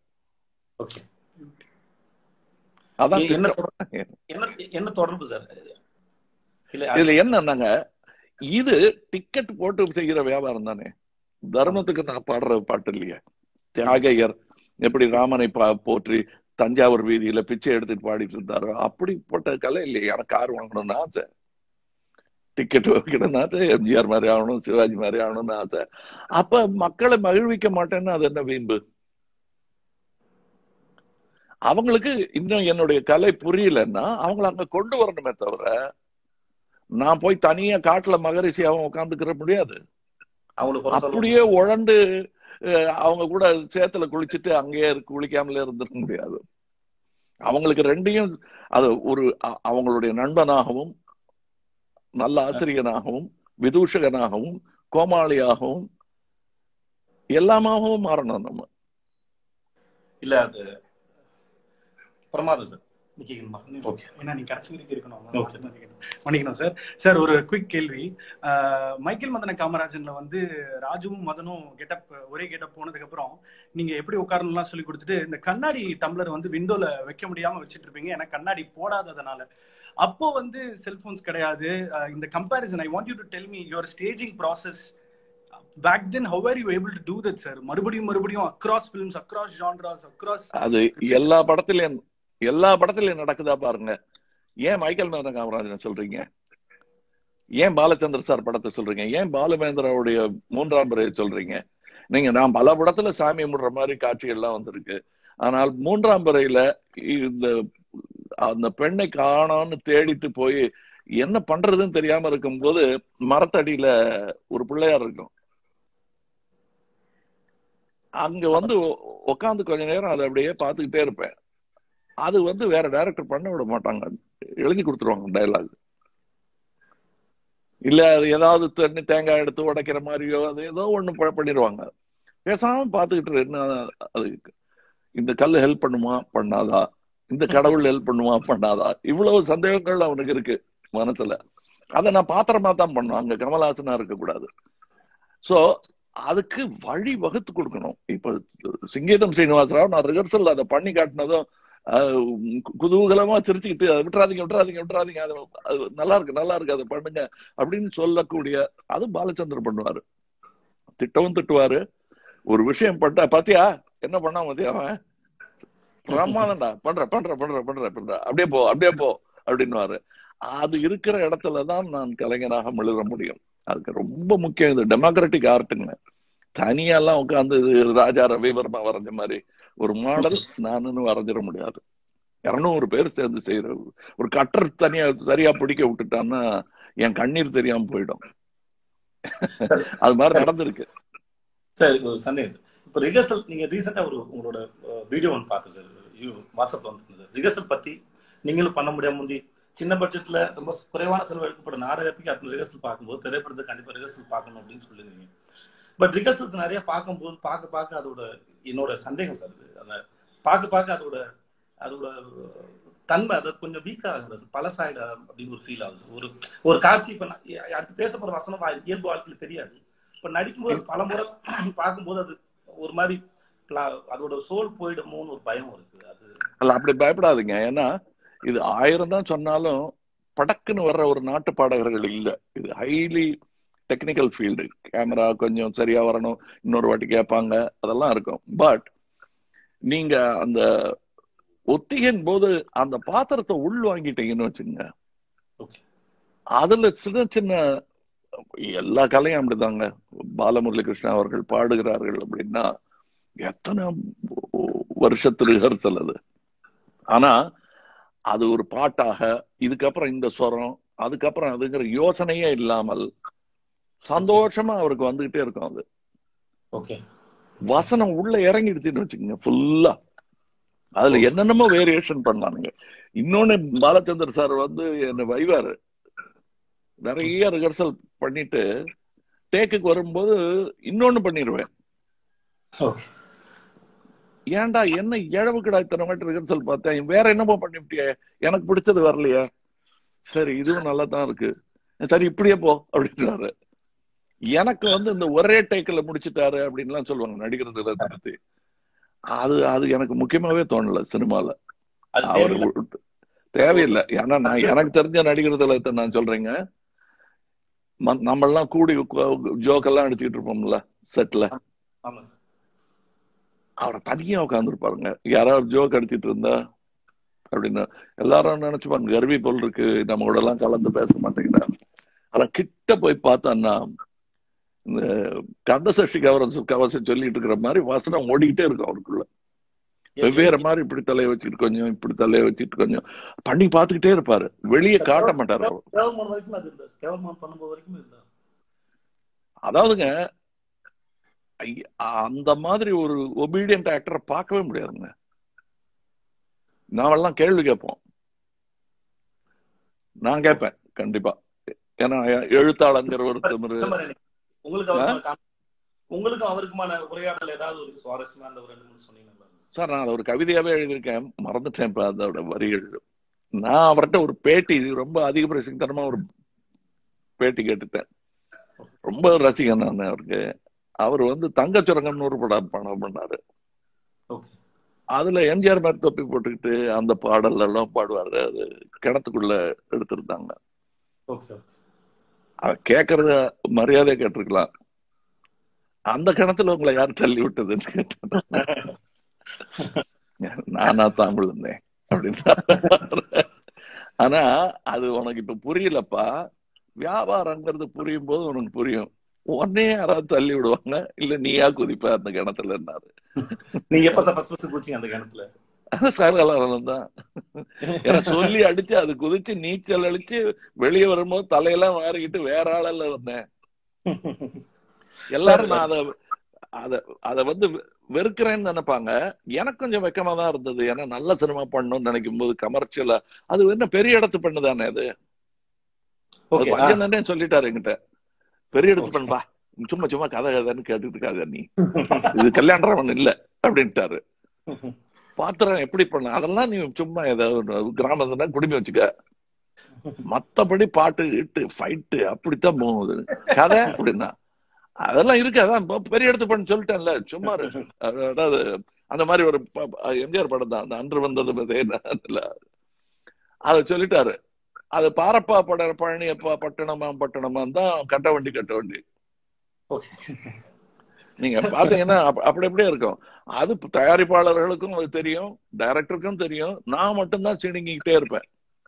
என்னமோ போட்டு ஏன்னா நான் குழந்தையில இருந்து தெரியும். அவன் என்ன படிச்சுக்கிட்டே இருப்பான். அவன் சந்தோஷத்துக்கு ஏதாவது ஆட விடுங்க அவன் சொல்றான்னு. உடனே நான் அந்த மோட்டார் பைக்கை வச்சுக்கிட்டு ஹாப்பி நியூ இயர் அது ரிஹர்சல் பாக்குறேன்னு அதெல்லாம் நான் தான் கேட்டு கேட்டு பண்ணிக்கிட்டு இருப்பேன் நான். எல்லாத்துக்கும். ஆமா ஆமா ஆமா. அது நான் எங்கிட்ட விட்டுட்டு அங்கங்கிறதுனால இப்படி பண்ணலாம் அப்படி பண்ணலாம் தேவையில்லாம அடி எல்லாம் போட்டுக்கிட்டேன். அதுக்கு எம்ஜிஆர் கூட்டு திட்டினாரு. அப்ப ஓகே. எதுக்கு Sir. இதெல்லாம் நீ பண்றேன்ட்டு? அது அது அது வந்து இப்ப சிவாஜி சாரை பத்தி சொல்லிட்டு இருந்தேன் இல்லையா? அது வெவ்வேறு காலகட்டத்துல வெவ்வேறு மாதிரியான சிவாஜி சார் ரொம்ப ரசிச்சதுக்கும் அவர்கிட்ட உங்களுக்கு ரொம்ப இன்ன வரைக்கும் நீங்க அவரை பத்தி பேசும்போது ரொம்ப எக்ஸைட் ஆகுறீங்க அவர்கிட்ட நீங்க ரொம்ப ரசிச்சது இல்ல ரொம்ப பிடிச்சது அவர் ஒர்க்கை பத்தி இல்ல அவரை பத்தி ஏதாவது வார்த்தை சொல்லுங்க. அவருக்கு கடைசி வரலாம் அவர் அந்த நாடக கம்பெனில இருந்து வெளியே வந்து கொஞ்சம் பணக்காரங்களோட பழகின அவ்- அவ்வளவுதான் சார். புது சிவாஜி கணேசன் என்று சொல்லக்கூடிய மனிதர். மத்தபடி பழைய ஆள் தான் சார் அவரு. அவரு. அவர் ரொம்ப சாதாரணமான ஆளா அதை சொல்லுவார் அவரு. அது ரொம்ப ஆச்சரியமா இருக்கும். சில விஷயங்கள் அவருக்கு தெரியாது. அவருக்கு வந்து அவ- அவருக்கு வந்து கார் ஓட்ட தெரியாது சார். அதுக்கப்புறம் இந்த ரூபானா பைசாவுடைய அளவுகள் இதெல்லாம் மாறி போனதும் கணக்கு பார்க்க தெரியாது அவருக்கு. பொன்மகள் வந்தால்னு ஒரு படம் சொர்க்கத்துல சொர்க்கம்னு ஒரு படத்துல வரும் பொழுது அங்க நிறைய சில்லறை எல்லாம் போட்டு வச்சிருந்தாங்க. அப்ப நாடக நடிகர்கள் எல்லாம் கிண்டல் அடிப்பாங்க. ஓ இதானா அந்த புது ரூவா சில்லறை பார்த்து ரொம்ப நாள் ஆச்சுன்னாராம் அதை த- இவங்க என்ன நினைச்சிட்டாங்க? என்ன திமிரு பாத்தியா சோத்துக்கெல்லாம் அலைஞ்ச ஆளு. சில்லறை பார்த்து நிஜமே அதுதான். அவர் ரூபாயை தொட்டதே கிடையாது. அதுக்கப்புறம் அவர் பணம் அட்வான்ஸ் கூட கையை நீட்டி வாங்கினது கிடையாது. எனக்கு எப்படி தெரியும்னா நான் கொடுத்துருக்கேன் அவருக்கு அட்வான்ஸ் சரி என்ன? அப்படின்னு வேற யாருக்கும் திறந்து பார்க்க மாட்டாரு அவரு. அது நான் பார்த்து வியந்த எல்லாத்தையும் அவங்க சண்முகம் பாத்துக்கிட்டாரு அதுக்கப்புறம் ராமு பாத்துக்கிட்டாரு அவர். மகன் ஒண்ணுமே அவரை ஏர்போர்ட்ல கொண்டு போய் தனியா விட்டுட்டேன்னா அவர் சொன்னாரு நீ என்னடா பிரான்ஸ்ல இருந்து லண்டன் போறேங்கிற? எப்படி போவ? அப்படின்னு கேட்டாரு. நான் அவரோட போயிருந்தேன். அங்க. நான் போயிருவேங்க. குடும்பத்தை முதல்ல அனுப்பிச்சு வச்சுட்டேன். நான் தனியாவா போவ அப்படின்னாரு. ஆமா. நீயே போய் டிக்கெட் எடுத்து நீயே இதுல இறங்கி பொட்டி எடுனா நம்ம பொட்டி தானே ஐயா. சரி. அப்புறம் அங்க போய் இறங்கி அப்படின்ட்டு ஒவ்வொன்றா கேட்டு வந்தா அங்க ஒரு ட்ரெயின் இருக்குயா அதுல ஏறினா நான் போக வேண்டிய இடத்துக்கு போயிடலாம் ஐயோ நான் அழுதுருவேன்டா. ஏர்போர்ட்ல என்ன தனியா விட்டா அழுதுருவேன். தெரியும் ராமுக்கெல்லாம் நீங்க கேட்டு பாருங்க அப்படின்றாரு அதுதான் என்ன வயசு என்ன வயசு அவர் இறப்பதற்கு எட்டு ஒன்பது வருடம் முன்னாடி. சார். இப்போ அதாவது சார் இப்போ ஒவ்வொரு முறையும் ஒரு பாப்புலர் ஒப்பீனியன் இருக்கு சார் கமல் சார் ஃபேன்ஸ் கிட்ட. என்னடா நம்ம ஆளு ரெண்டு மூணு காமெடி படம் பண்ணிட்டாரா தொடர்ச்சி அப்படின்னா? இல்ல மச்சான் அதுக்கப்புறம் தான் ஒரு ட்ரீம் ப்ராஜெக்ட் ஆள வந்தானோ இல்ல ஒரு விரும்பாண்டியோ வரும் அப்படின்னு எங்களுக்குள்ள ஒரு பாப்புலர் ஒப்பீனியன் இருக்கு. How did you learn to crack your body sir ஏன்னா இப்போ வரைக்கும் you're pushing your body to level where no other actor can exploit how are you able நீங்க சொன்னதுல ஒரு ரொம்ப உள்ளர்த்தம் ஒரு ஒரு சிலைடையே இருக்கு அதுல ஆங்கில சிலையடை தான்னாலும் அது கிராக்கிங் த பாடிங்கிறது வந்து I have thirty six fractures இப்போ உடம்புல. அதுவே என்னை கொஞ்சம் ஒரு மாதிரி அதுக்கேத்த மாதிரி நான் என்னுடைய காட்சி அமைப்புகளே மாத்த வேண்டியதாயிடுச்சு. ஏன்னா மூணு டிஸ்க் ஸ்லிப்பு முப்பத்தாறு ஃப்ராக்சர் அந்த மாதிரி இருக்கு. ஸ்கல்ல கூட ஃப்ராக்சர் ஆயிருக்கு எனக்கு. இது கலைஞன் போது கார் கடியில போய் சைட்ல நிறைய மூக்கு உடைஞ்சிருக்கு. பல முறை மூக்கு அதனாலதான் ஒரு தன்னம்பிக்கை ஜாஸ்தி ஆச்சு இனி யாரும் நம்ம மூக்க உடைக்க முடியாது? மீசையில நிறைய மண்ணு ஒட்டி இருக்கு அதனால எனக்கு மண்ணை பார்த்து பயமே கிடையாது. அது நான் நடக்கிற இடம் கொஞ்சம் மூஞ்சியும் வச்சு பார்ப்பேங்கிற மாதிரி தான் தோணும். ஏன்னா பல முறை பல முறை தெருவுல விழுந்து இழுத்துக்கிட்டு போயிருக்காங்க. என்ன? இதெல்லாம் வந்து அதனால கொஞ்சம் நாயகன் போது போட்ட பாடி வெயிட் அதுக்கெல்லாம் முன்னாடி நான் சகலகல அளவன் டயத்துலக்கும் அதுக்கும் கொஞ்சம் முன்னாடியே ஒரு கிளியர்லி டென் இயர்ஸ் டெய்லி பதினாறு கிலோமீட்டர் பதினாலு கிலோமீட்டர் ஓடுவேன். பதினாலு கிலோமீட்டர் சார்? ஃபோர்டீன் கிலோமீட்டர்ஸ் ஓடுவேன். என் சோத்தை கட்டுப்படுத்தவே முடியாது. அது சிவாஜி சாரோட உட்காந்து சாப்பிடும் போது இப்படி சைட்ல பார்த்துட்டு பரவாயில்லடா. நம்ம மாதிரி சாப்பிடுறாங்க. அதாவது என்னடா இப்படி சாப்பிடுறேன்றத அடங்கி வாச்சு சொல்றதுதான் அவரு நிறைய நானு ராமு எல்லாம் உட்கா நானு ராமு பிரபு எல்லாம் உட்காந்தானா ஒரு டேக்ஸா பிரியாணி காணாம போயிடும் ஆனா அந்த மாதிரி சாப்பிடுவேன். அதுக்கப்புறம் அந்த சாப்பாட்டை குறைக்காம இருந்ததுனால நாயகன்ல வெயிட் போடுறது ரொம்ப ஈஸியா இருந்தது. எக்ஸசைஸ் மாத்திரம் குறைச்சிக்கிட்டோம். அதுக்கப்புறம் அடிபட்டுருச்சு எனக்கு. அடிபட்டதுல கொஞ்சம் வெயிட் போட்டேன். சோ அதை வந்து இப்படியே தள்ளினா இந்த பக்கம் போயிரும் போல இருந்தது ரொம்ப. அது குறைக்கிறதுக்கு ரொம்ப கஷ்டப்பட்டேன் நான். அதுக்கப்புறம் நான் ஆள வந்தார்ல முதல்ல நினைச்சிருந்தது டபிள்யூ டபிள்யூ மாதிரி இல்ல. ஓகே ஓகே சார் ரொம்ப லீன் அண்ட் மீன் அப்படின்னு நினைச்சிருந்தேன் அது. அப்புறம் எல்லாருமே அதை விரும்பல. ஏன்னா ரொம்ப மூஞ்சில் தான் ஒட்டி இருக்கிற மாதிரி தான் நான் நினைச்சிருந்தேன் அது. அதுக்கு ஆப்போசிட்டா போனது வந்து ரொம்ப கஷ்டமா இருந்தது. ஏன்னா சாப்பிடுறது வந்து அந்த நேரத்துல கிட்டத்தட்ட முப்பது வெள்ளைக்கரு சாப்பிடுவேன். முப்பது?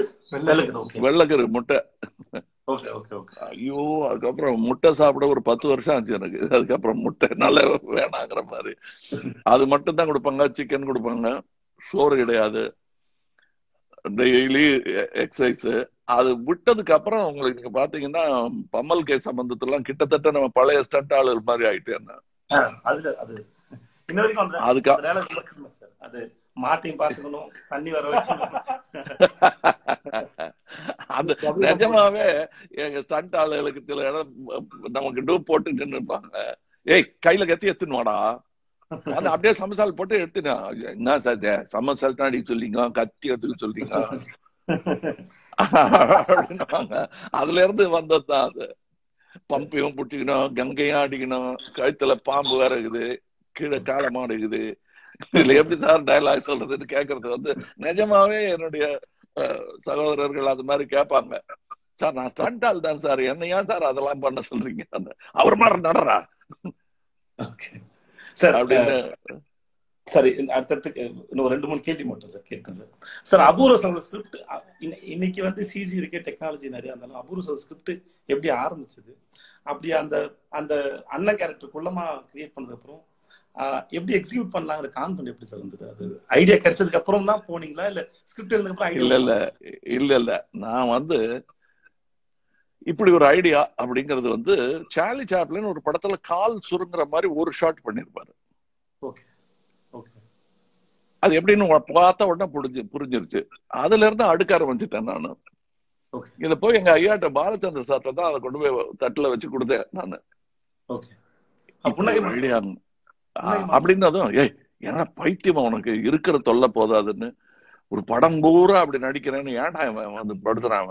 அப்படின்னாரு இல்ல சார் நல்லா இருக்கும் சார் ஒரு சொல்லுது வேண்டாம் வேண்டாம் வேண்டாம் ஐயோ அப்பதான் விழுந்து அடிபட்டுட்டு இருந்தேன். ஏதோ அதனால அதெல்லாம் வேண்டாம் நீ அந்த இது மாத்திரம் பண்ணு. உனக்கு வேணும்னா அந்த சீன் வைக்கிறேன்னான்ட்டு அந்த குள்ள நான் ஒரு ரிஹர்சல் பார்த்தது வந்து பாலச்சந்திரையா படத்துலதான்.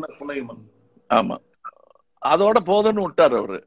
எனக்கு அதுதான் ஒத்திகையாக அமைஞ்சது. ஆனா அந்த ஒரு விஷயம் மட்டும்தான் எனக்கு தெரியும். ஓகே. ஆனா கதையை பண்ண ஆரம்பிச்சிட்டோம். ஒரு கதை பண்ணி அனந்து சாரும் சிங்கீதம் ஸ்ரீனிவாசராவ் அவர்கள்- அவர்களும் அதை ரெடி பண்ணி ஒரு பத்து நாள் ஷூட்டிங் போயிட்டு எனக்கு ரஷ் போட்டு காட்டுறாங்க லெனின் போட்டு காட்டுறாரு. மூணு சீனு ஐநூறு அடி வருது. ஓகே. இன்னும் எத்தனை சீன் இருக்கு? அறுபது சீன் இருக்கு. இந்த ரேட்ல போனா எவ்வளவு பெரிய படம் எடுக்கிறீங்க நீங்க? எனக்கு ஒண்ணுமே ஆகலைங்க இந்த படத்தை பார்த்து.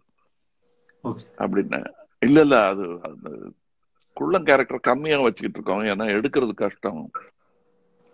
அதுல எனக்கு மாற்று கருத்து இருந்தது. திரும்ப திரும்ப திரும்ப பேசிக்கிட்டே இருந்தோம். இது சரியா வரலன்னு. நான் என்ன நினைச்சேன்னா நாம பேசின இடத்துலயே உழந்துகிட்டு இருக்கான். நல்ல கமர்ஷியல் சகலகலாலம் ரைட்டர் கூட்டிட்டு வரேன். அவர்கிட்ட இதை காட்டுறேன். அவருடைய விமர்சனம் என்னங்கிறதையாவது கேட்டுக்குவான். அப்படின்ட்டு பாஞ்சண்ணனை கூட்டிட்டு வந்து அந்த வீடியோ மாத்திரம் போட்டு காட்டினேன். ஓகே டேய் கமல் என்னப்பா இது? அப்படின்னாரு. சரிண்ணே இப்ப கதை. ஏன் அவன் தான்ப்பா ஹீரோ தான் ஹீரோ அவனை விட்டுட்டு நீங்க என்ன படம் எடுக்கிறீங்க? அப்படியான? ஐயய்யா இவன் தான் என் ஹீரோ நீங்க அவங்க படுற கஷ்டம் எல்லாம் எனக்கு என்ன தெரியும்? நான் படம் பார்த்தா இவனை தான் பார்ப்பேன் அப்படின்னாரு. அது எப்படின்னா என்ன வேணா பண்ணியா? அவனுக்கு இன்னொரு தம்பி இருந்தான் ஒருத்தன் உயரமா இருக்கான். அவன் ஏன்னா குள்ளமாவே நடிச்சா கோச்சுக்குவாங்க அதனால நீ ஒரு உயரமா ஒருத்தன் வை இதுவா வை. யாதவங்கி பராது மாதிரி ஒரு நாலு பேர் சேர்ந்து அப்பா சின்ன பின்னப்படுத்தி கொண்டு விடுறாங்க பிள்ளைகள் பிரிஞ்சிருது. திருப்பி கூடி ரிவர்ட் அவ்வளவுதானே அப்படின்னா அப்படியே எழுதுனேன் ஜஸ்ட் லைக் அப்படியே வந்ததா சார் இப்படித்தான் பேசினான் அவ்வளவுதான்ப்பா. இதுக்கு மேல வச்சுக்கிறாத. இவன் தான் ஹீரோ அப்படின்னாரு. சரி நான் அப்ப நான் ஸ்கிரீன் பிளே எழுதிட்டு உங்ககிட்ட சொல்றேன் அப்படின்ட்டு அதை எடுத்துக்கிட்டு பண்ண ஆரம்பிச்சதுதான். எழுதிட்டோம் ஸ்கிரீன் பிளே ஓகே நான் எது முடியும் எது முடியாதுங்கிறத பத்தி எல்லாம் யோசிக்காம ஸ்கிரீன் பிளே எழுதிட்டேன். ஆனா எனக்கு தெரிஞ்சது மூணே மூணு வழிதான். அந்த குள்ள நான் நடிக்கிறதுக்கு ஓகே. அதை யார்கிட்டயாவது சொல்றா போதும் வேணாம் இது கமல கமலே தடுமா தடுமாறுறாரு. அதனால நம்ம இது இந்த ப்ராஜெக்ட் வேணாம்னு ஒதுக்கிடுவாங்க. ஏற்கனவே நின்னு தொடங்கினோம் அஹ் எனக்கு எல்லாம் இருக்கு இங்கன்னு போய் சொல்லிட்டேன். முதல் மூணு இது நைட் எல்லாம் முதல்ல ஒரு ஒரு வாரம் எனக்கு தூக்கமே கிடையாது. இப்படி பண்ணலாமா அப்படி பண்ணலாமா இப்படி பண்ணலாமா அந்த மாதிரி சீன் இருக்கு அதை எப்படி பண்ண போறோம் அப்புறம் கொஞ்சம் கொஞ்சம் கொஞ்சம் கொஞ்சமா தைரியம் வந்துருச்சு. அதோட ரிசல்ட்ட பார்க்கும்போது ஐடியாவும் வந்துருச்சு கூடவே. Necessity is the mother of invention சொல்லுவாங்கல்ல அந்த மாதிரி. ஆனா என்ன அற்புதமான ஒரு சூழல்னா அந்த சர்க்கஸ் அது இது இப்ப இல்ல ஒரு காட்சி கூட ஒரு காட்சி கூட சாதாரணமா கடந்து போக முடியல. இப்போ வரைக்குமே ரீசெண்டா என் குழந்தைகள் போட்டு காமிச்சு அது எப்படி ஒர்க் பண்ணப்பட்டது அது எப்படி எந்த பீக்கு கொண்டு போக இவர் எப்படி ஹீரோ ஆக்குறாங்க? எல்லாரும் வளர்ந்தவங்க எல்லாம் புலியை பார்த்து பயப்படும் போது குள்ளமாருக்கு போய் அந்த புலி ஏன் உள்ள அனுப்புறாரு? அதோட அர்த்தம் என்ன அப்படின்னு ஒன்னு ஒன்னும் பேசும்போது அந்த அன்னைக்கு நீங்க போட்ட அந்த ஒர்க்கோட எஃபர்ட் வந்து இன்னைக்கு வரைக்கும் அது இன்னும் எத்தனை தலைமுறைக்கும் அதை எடுக்கலாம் சார்? அப்புறம் அடுத்த ஒரு. கேள்வி. அடுத்த ஒரு கேள்வி சார். கமல் சார் படங்கள்ல வந்து முக்கியமா வந்து டைரியில கடிதம் வந்து முக்கிய பங்கு இருக்கு உத்தமன்ல முன்னாள் காதலின் கடிதம் குருதிப்புண்ல ஆதியின் கடிதம் அன்பேசும் கிளைமேக்ஸ்ல கடிதம் குணால்ல கண்மணி பாட்டோட கடிதம். இப்படி எல்லாமே கடிதம் லெட்டர் அப்படின்னு ஒரு ஒரு முக்கியமான பங்கு அது கடிதத்துக்கும் உங்களுக்குமான தொடர்பு அது. அது வசனம். எனக்கு நானே நிறைய பாலச்சந்தர் சாரும் நானும் எங்க கடித தொடர்பு எல்லாத்தையும் பப்ளிஷ் பண்ண முடியாது. வருத்தங்கள் கோபங்கள் எல்லாமே இருக்கும் அதுல. அது வந்து எனக்கு ஒரு எங்க அப்பாவே நிறைய கடிதங்கள் எழுதுவாரு. தவிர சினிமாவுல ஐயா நடிகர் திலகம் கால காலத்திலும் கலைஞர் காலத்திலும் இருந்த ஸ்ரீதர் சார் காலத்துல இருந்த அந்த வசனங்கள்லாம் குறைய ஆரம்பிச்சிருச்சு. எங்கேயாவது ஒரு இடத்துல முழு கருத்தை அப்- அப்படி மொத்தமா சொல்ல வேண்டிய வாய்ப்புங்கிறதுக்கு வந்து கடிதம் தான் சிறந்த வழின்னு தோணுச்சு. அவ- அவ்வளவுதானே தவிர ஏன்னா அந்த அடுத்த விடா வினாடி ஆச்சரியங்கள்ங்கிறது வந்து பேசும்போது சொன்னா கொஞ்சம் ஓவரா இருக்கும். அன்பே சிவத்துல வர்ற ஒரு விஷயம். கடைசியில அவரை ஆனா நிஜமான கடிதம் இதோட சேர்ந்து வர்ற கடிதம்ங்கிறது வந்து குணால வர்ற கடிதம் தான் நான் உனக்கு எழுதுற கடிதத்தை நீ எனக்கு எழுதி கொடுன்னு கேக்குறது. அதுதான் எனக்கு பிடிச்சிருந்தது இல்ல அந்த ஐடியா வந்து செம ஐடியா சார் அந்த பாட்டும் இப்பயும் கேட்கும்போது சரி அந்த ஐடியாவும் சரி வந்து அது பிரமாதமான ஐடியாஸ் எனக்கு அந்த ஐடியாவும் இந்த சிப்பி இருக்கு முத்தம் இருக்கு திறந்து பார்க்க அந்த அந்த ரெண்டுமே வந்து ரொம்ப எக்ஸைட்டிங்கான ஐடியாஸ் எப்ப கேட்டாலுமே அது வந்து அவ்வளவு அதுக்கு காரணம் அந்த சிப்பி இருக்குது பாடல் தோன்றியதற்கான காரணம் அதற்கு நான் ஐ விட்னஸ் அதாவது கண்ணதாசன் அவர்கள் எம்எஸ்வி பாலச்சந்தர் அவர்கள். ஒரு பாடல் உருவான கதைன்னு மியூசிக் அகாடமியில செஞ்சு காட்டுறாங்க. அவர்கள் படம் எடுத்துக்கிட்டு இருக்கோம் நாங்க. அப்ப அதற்கான சீக்வன்ஸுக்கு ரெண்டு பேரும் ஐயா பாலச்சந்திரன் அவர்களும் எம்எஸ்வியும் ரெடியா இருக்காங்க. வழக்கம் போல மத்தியானம் தூங்கிட்டாரு கவிஞர். வர லேட் ஆயிடுச்சு. இவங்க ரெண்டு பேரும் தான் ரிஹர்சலோட ரெடியா இருந்தாங்க. அவர் ஒண்ணுமே இல்லாம உள்ள வந்தாருங்க. காத்து மாதிரி வந்தாருங்க அவரு. வந்து எல்லாரும் பதறிக்கிட்டு இருக்காங்க. அப்ப ஒரு வாட்டி பாத்துக்கலாமா? ஐயோ என்ன இப்ப இந்த லாஸ்ட் மினிட்ல வந்துட்டீங்கன்னு பதறாரு. ஒன்றும் பதறாதுங்க. எல்லாம் சரியா வந்துடும் நான் ஒரு சிகரெட் பிடிச்சிட்டு வந்துடுறேன் அந்த அஞ்சு நிமிஷத்தையும் சிகரெட் தான் பிடிச்சாரு அவரு. பிடிச்சிட்டு உள்ள வந்து இவங்க டியூன் போட்டு வாசிக்கிறாங்க. நான்லாம் க- கண்ணீரோட நின்னுட்டு இருந்தேன் சைடுல. அங்கும் இங்கும் பாதை உண்டு. இன்று நீ எந்த பக்கம்? ஞாயிறுண்டு திங்களுண்டு உந்த நாள் எந்த நாளோ? இதே கிட்டத்தட்ட இந்த வேகத்துல அடிச்சாருங்க. இத பாத்துக்கிட்டே இருந்து இதுல இருந்து வந்த காதல் தான் சினிமா காதலாக மாறியது. ஸ்ரீதேவி நான் பண்றதா? ஏன்னா அப்படி ஒரு பாடல் உருவார அந்த சந்தோஷம் இருக்கு தெரியுமா? ஒரு தத்தகாரன் சொல்லி அது ஒரு உடனே. கவிஞன் எடுத்து சொல்லுமா அந்த இது அது ஒரு காதலா தான். அவங்களுக்குள்ள காதல் வந்துருச்சுங்கிறதை இதை விட சுருக்கமா சொல்லவே முடியாது. அது அதுக்காக அப்படி வந்ததுதான். அதை பாலச்சந்திர சார்ட்ட சொல்லி காட்டும்போது ஆமா நல்லா இருக்குல்ல. அப்படி ஒரு லோசின் இருந்தா நல்லா இருக்கும் அப்படின்னாரு. அப்படி வந்ததுதான் செப்பி இருக்குது சார் இப்போ வந்து இசை பேசினதுனால சார் இந்த நம்மவர்ல வந்து வாத்திய பொருட்களே இல்லாம ஸ்டேஜ்ல உருவான பாடல் அவர் மகேஷ் சாரோட இசையில அந்த பாடலும் அப்புறம் வந்து சத்யால போட்டாப்படி இது பாட்டுல வந்து திடீர்னு ஸ்ருதியை வந்து அந்த எக்ஸ்டர்னல் அக்ரெஷன்ல இருந்து எடுத்து ஒரு ஃபிளைட் டோல் ஒரு அந்த சவுண்ட்ல இருந்து எடுத்த அந்த ரெண்டு தாட்டு சார் அதோட கண்டினியூவேஷனா கமல்ஹாசன் த ஃபேஷனிஸ்டா இந்த விருமாண்டி வாட்ச் இந்த நம்மவர் கண்ணாடி இந்த ஆளவன் தான் கிளைமேக்ஸ் மாஸ்க் எப்படி சார் இதெல்லாம் நீங்க இன்னும் நீங்க பின்னாடி போகல. ஏன்னா முந்தி எல்லாம் நான் பாலச்சந்தர் சார் இதுல நீயே ஏதாவது நல்ல ட்ரெஸ் போட்டு வாடா அப்படின்னு காஸ்டியூமர் தனியா கிடையாது. ஏன்னா பட்ஜெட் அவ்வளவு லோ சோ மன்மதலியில நான் போட்டிருக்கிற கோட்டு வந்து ஒரு கோட் ஒரு ஒரு ஃபான் கலர் கோட் பிஸ்கட் கலர்ல ஒரு கோட் இருக்கும். அது சந்திரஹாசன் அண்ணனுடைய கோட்டு. அவர் லண்டன்ல இருந்து வாங்கிட்டு வந்திருந்தாரு. அதை எடுத்து போட்டுட்டு போயிட்டேன் நானு. அதுக்கு வேற மன்மதலியில கோட்டு நீயே வச்சுக்கடா அப்படின்னு என்கிட்ட கொடுத்துட்டு போயிட்டாரு அவரு. அந்த மன்மதலியில கோட்டுன்னு எல்லாம் எங்க ஃபேமிலிலயே பேசுவாங்க. அது நான் பல ஃபங்க்ஷனுக்கு எல்லாம் கூட போட்டு போவேன் இப்ப. அது நம்ம ட்ரெஸ்ஸையே யூஸ் பண்றது. ஏன்னா சினிமாக்குன்னு ஒரு பாணி இருந்ததுங்க. அது ஒரே மாதிரி இருக்கும். ஏன்னா அது டெய்லர்டு அது ஃபார் சினிமா அந்த காலத்துல ஒரு பெல் பாட்டம் கேட்டானா கூட தெரியாது. அப்ப அவங்களுக்கு ஏன்னா ஃபேஷனோட தொடர்பு இல்லாம இருந்தாங்க அங்க சினிமாக்காரங்க ஏன் இன்னும் சொல்ல போனா இலக்கியத்தோடயே தொடர்பு இல்லாம இருந்தாங்க. அதனால எல்லாம் அப்படியே பண்ணி பழகிட்டோம். ரெட் ரோஸ் போது ஏன் இவர் பதினாறு வயதுல போது கூட அவருக்கு எனக்கு ஒரு சட்டை ஏதாவது ஒண்ணு போட்டுக்க அப்படின்னு காக்கி சட்டை ஒன்று கொடுத்தாங்க. அதை போட்டு நான் படுத்தின பாட பார்த்து என்ன நாய் குதற மாதிரி பண்ணிட்டேன். அதை போட்டு கட்டி புரண்டு அது கூட கல்ல வச்சு அடிச்சு என்னென்னமா பண்ணிட்டு இருந்தேன். அதை பார்த்து ரசிச்சுக்கிட்டே இருந்தாரு ப- பாரதி ராஜா கிறுக்கையா இவன் அந்த கேரக்டர் எப்படி சார் ஃபார்ம் ஆச்சு? அந்த எப்படி அந்த அதுல சப்பானின்னு அவங்க வந்து ஒரு கேரக்டர் வச்சிருந்தாங்க. நொண்டணுங்கிறது அவர் மனசுல இல்ல. ஓகே ஓகே ஓகே அந்த காலை வெட்டிக்கிட்டு நொண்டணும்னு நான் தான் ஆரம்பிச்சேன். அது ரொம்ப ஓவரா பண்ணிடாத. என்னதான். இருந்தாலும் இது ஹீரோ. போர்டு கீடு ஆட வேணும் இல்லைன்னா இன்னும் கூட நல்லா பண்ணிருக்கலாம் அது. அந்த மனக்குறை தான் நான் அன்பே சிவத்துல தீர்த்துக்கிட்டேன் நானு. ஓகே. சார் நீங்க இல்ல சார் அந்த சமயத்துல மொத்தமா லுக் எல்லாம் அப்படியே ஆப்போசிட்டா மாத்தி ஆனா ரொம்ப ஸ்மார்ட்டா ரொம்ப அழகா இருக்கிற மனுஷன் நீங்க. அது டோட்டலா அப்படி மாறுறதுக்கு எப்படி உங்களுக்கு ஒத்துக்கிட்டீங்களா? ஏன்னா அந்த மாதிரி கேரக்டர்ஸ் பண்ணும்போது சில சமயம் அவர்ஷன் ஆகிறதுக்கான வாய்ப்பு கொஞ்சம் கூட கொஞ்சம் ஒரு ஒரு ஒரு சாரி நான் அதிகமா பேச மன்னிச்சுக்கோங்க. ஆனா அந்த மாதிரி கொஞ்சம் அவர்ஷன் ஆடியன்ஸ் கிட்ட கொஞ்சம் அவர்ஷன் ஆயிடும் அப்படின்னு லைட்டா பயம் ஏதாவது வரலையா சார் அது தோணலையா சார் அப்படின்னு? நான் ஆடியன்ஸ் வேற நான் வேறன்னு தனியா பிரிச்சு பார்த்ததே கிடையாது சார் நான் தான். ஆடியன்ஸ். நான் இப்படிப்பட்ட ஒரு நடிப்பை பார்த்து வியந்தவன். நான் அப்ப வந்து அந்த காலத்துல வந்து ரயான்ஸ் டாக்டர்னு ஒரு படம் வந்துருந்துச்சு. அதுல ஜான் மில்ஸ்னு ஒருத்தர் நடிச்சிருந்தாரு. ரொம்ப அவ்வளவு கோரமான ஆள் இல்ல.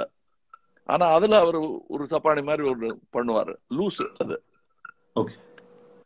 அது எனக்கு ரொம்ப வியப்பா இருக்கும். அந்த படத்து ஹீரோ எல்லாம் கூட எனக்கு தெரியாது. அந்த அந்த ஆளு தான் எனக்கு ஞாபகம் இருக்கும். அந்த நம்பிக்கை தான். ஏன்னா நான் ஒரு ரசிகன் தானே. அதுல முக்கியமான காரணம் யாருன்னா இந்த தேனிக்காரர் தான்.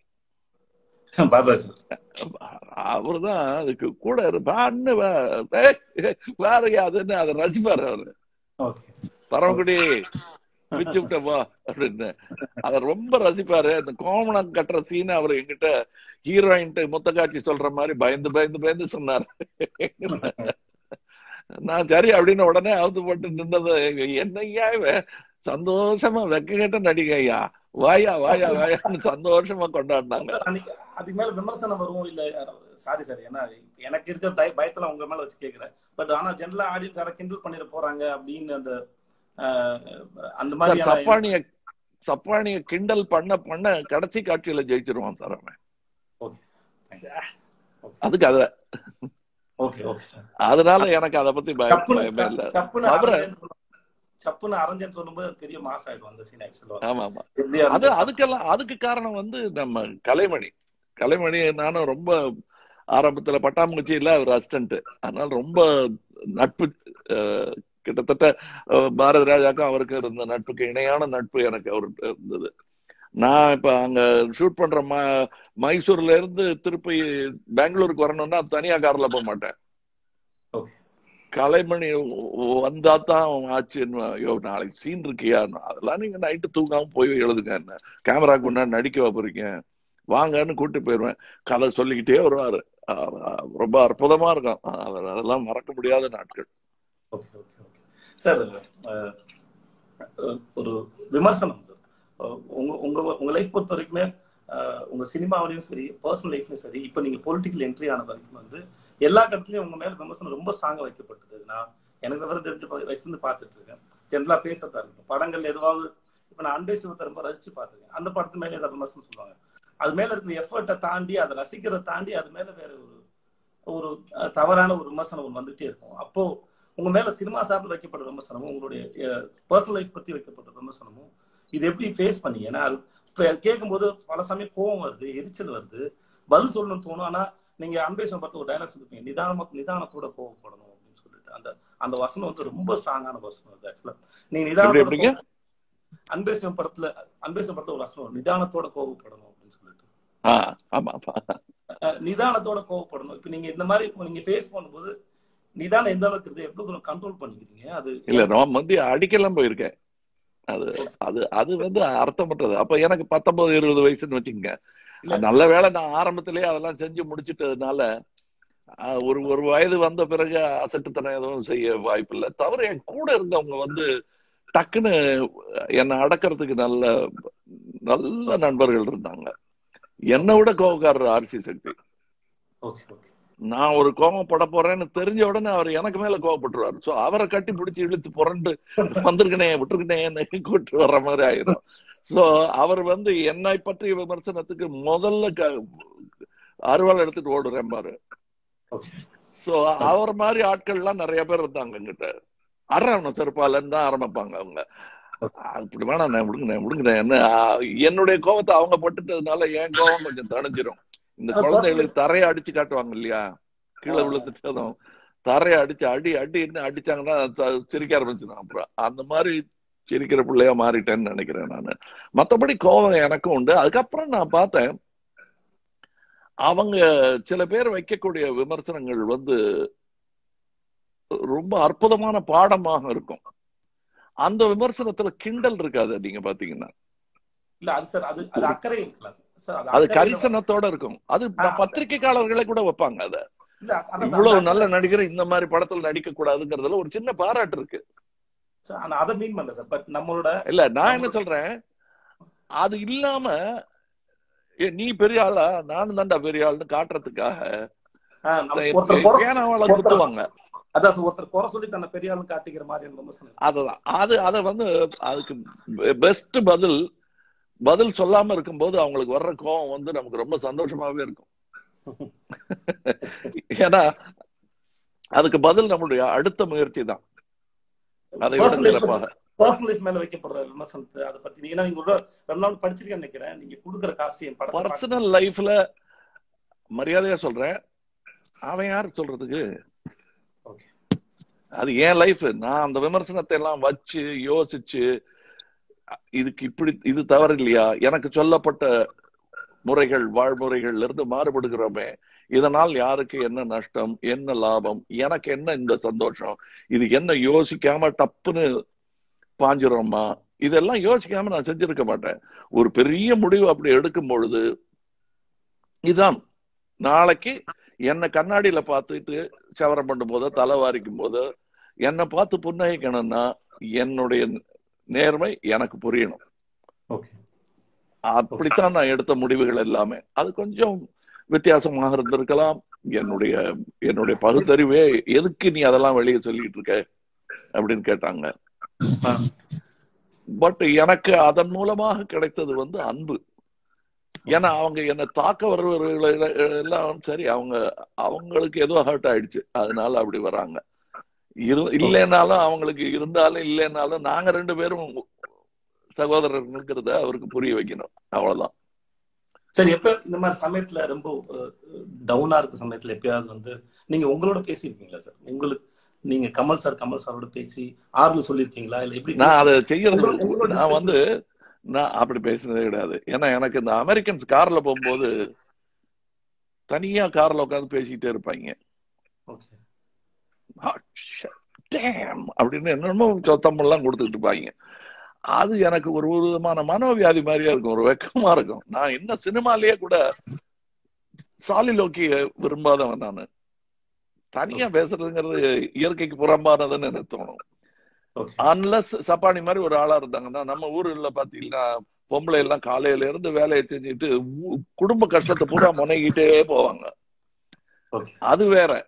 ஒரு ஒரு அர்பனைஸ்டு மேன் வந்து அப்படி பண்றதை நான் விரும்பல. இருந்தாலும் நான் அவர்கள் படத்துக்காக வென்ட்ரிலோகிசம்னு ஒண்ணு கத்துக்கிட்டேன் நான்.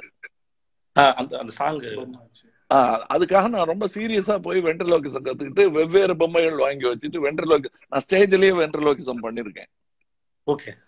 அந்த வாய்ஸ் அந்த அந்த வாய்ஸ் உங்களோட தானே சார் அந்த பொம்மை ஆமா ஆமா. ஆமா ஆமா ஸ்டேஜ்ல பண்ணிருக்கேன் ஏன்னா சினிமால. பண்றது டப்பிங்ல ரொம்ப அழகா இருப்பீங்க அதுல ரொம்ப அழகா இருப்பீங்க சார் சூப்பரா இருப்பீங்க சார் அந்த பிளாக் அந்த படத்துல வந்து ரொம்ப மேன்லியா மஸ்குலரா இருப்பீங்க சார் அந்த படத்துல ஆக்சுவலா வந்து.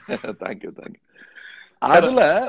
அதுல அந்த பொம்மையோட நான் பேசும் பொழுது என்னுடைய வாழ்க்கை பிரச்சனைகள்லாம் அந்த பொம்மையோட பேச ஆரம்பிச்சேன். ஏன்னா டயலாக் தீர்ந்து போச்சு. ஓகே அப்பதான் எனக்கு புரிஞ்சது. அமெரிக்கனை பார்த்து மனோவியாதின்னு சொன்ன நீ அதே குழிக்குள்ள உள்ள பாக்குறிய நீ ஃபர்ஸ்ட் அந்த பொம்மையை தூக்கி உள்ள வை அந்த விளையாட்டுல வச்சுக்காத.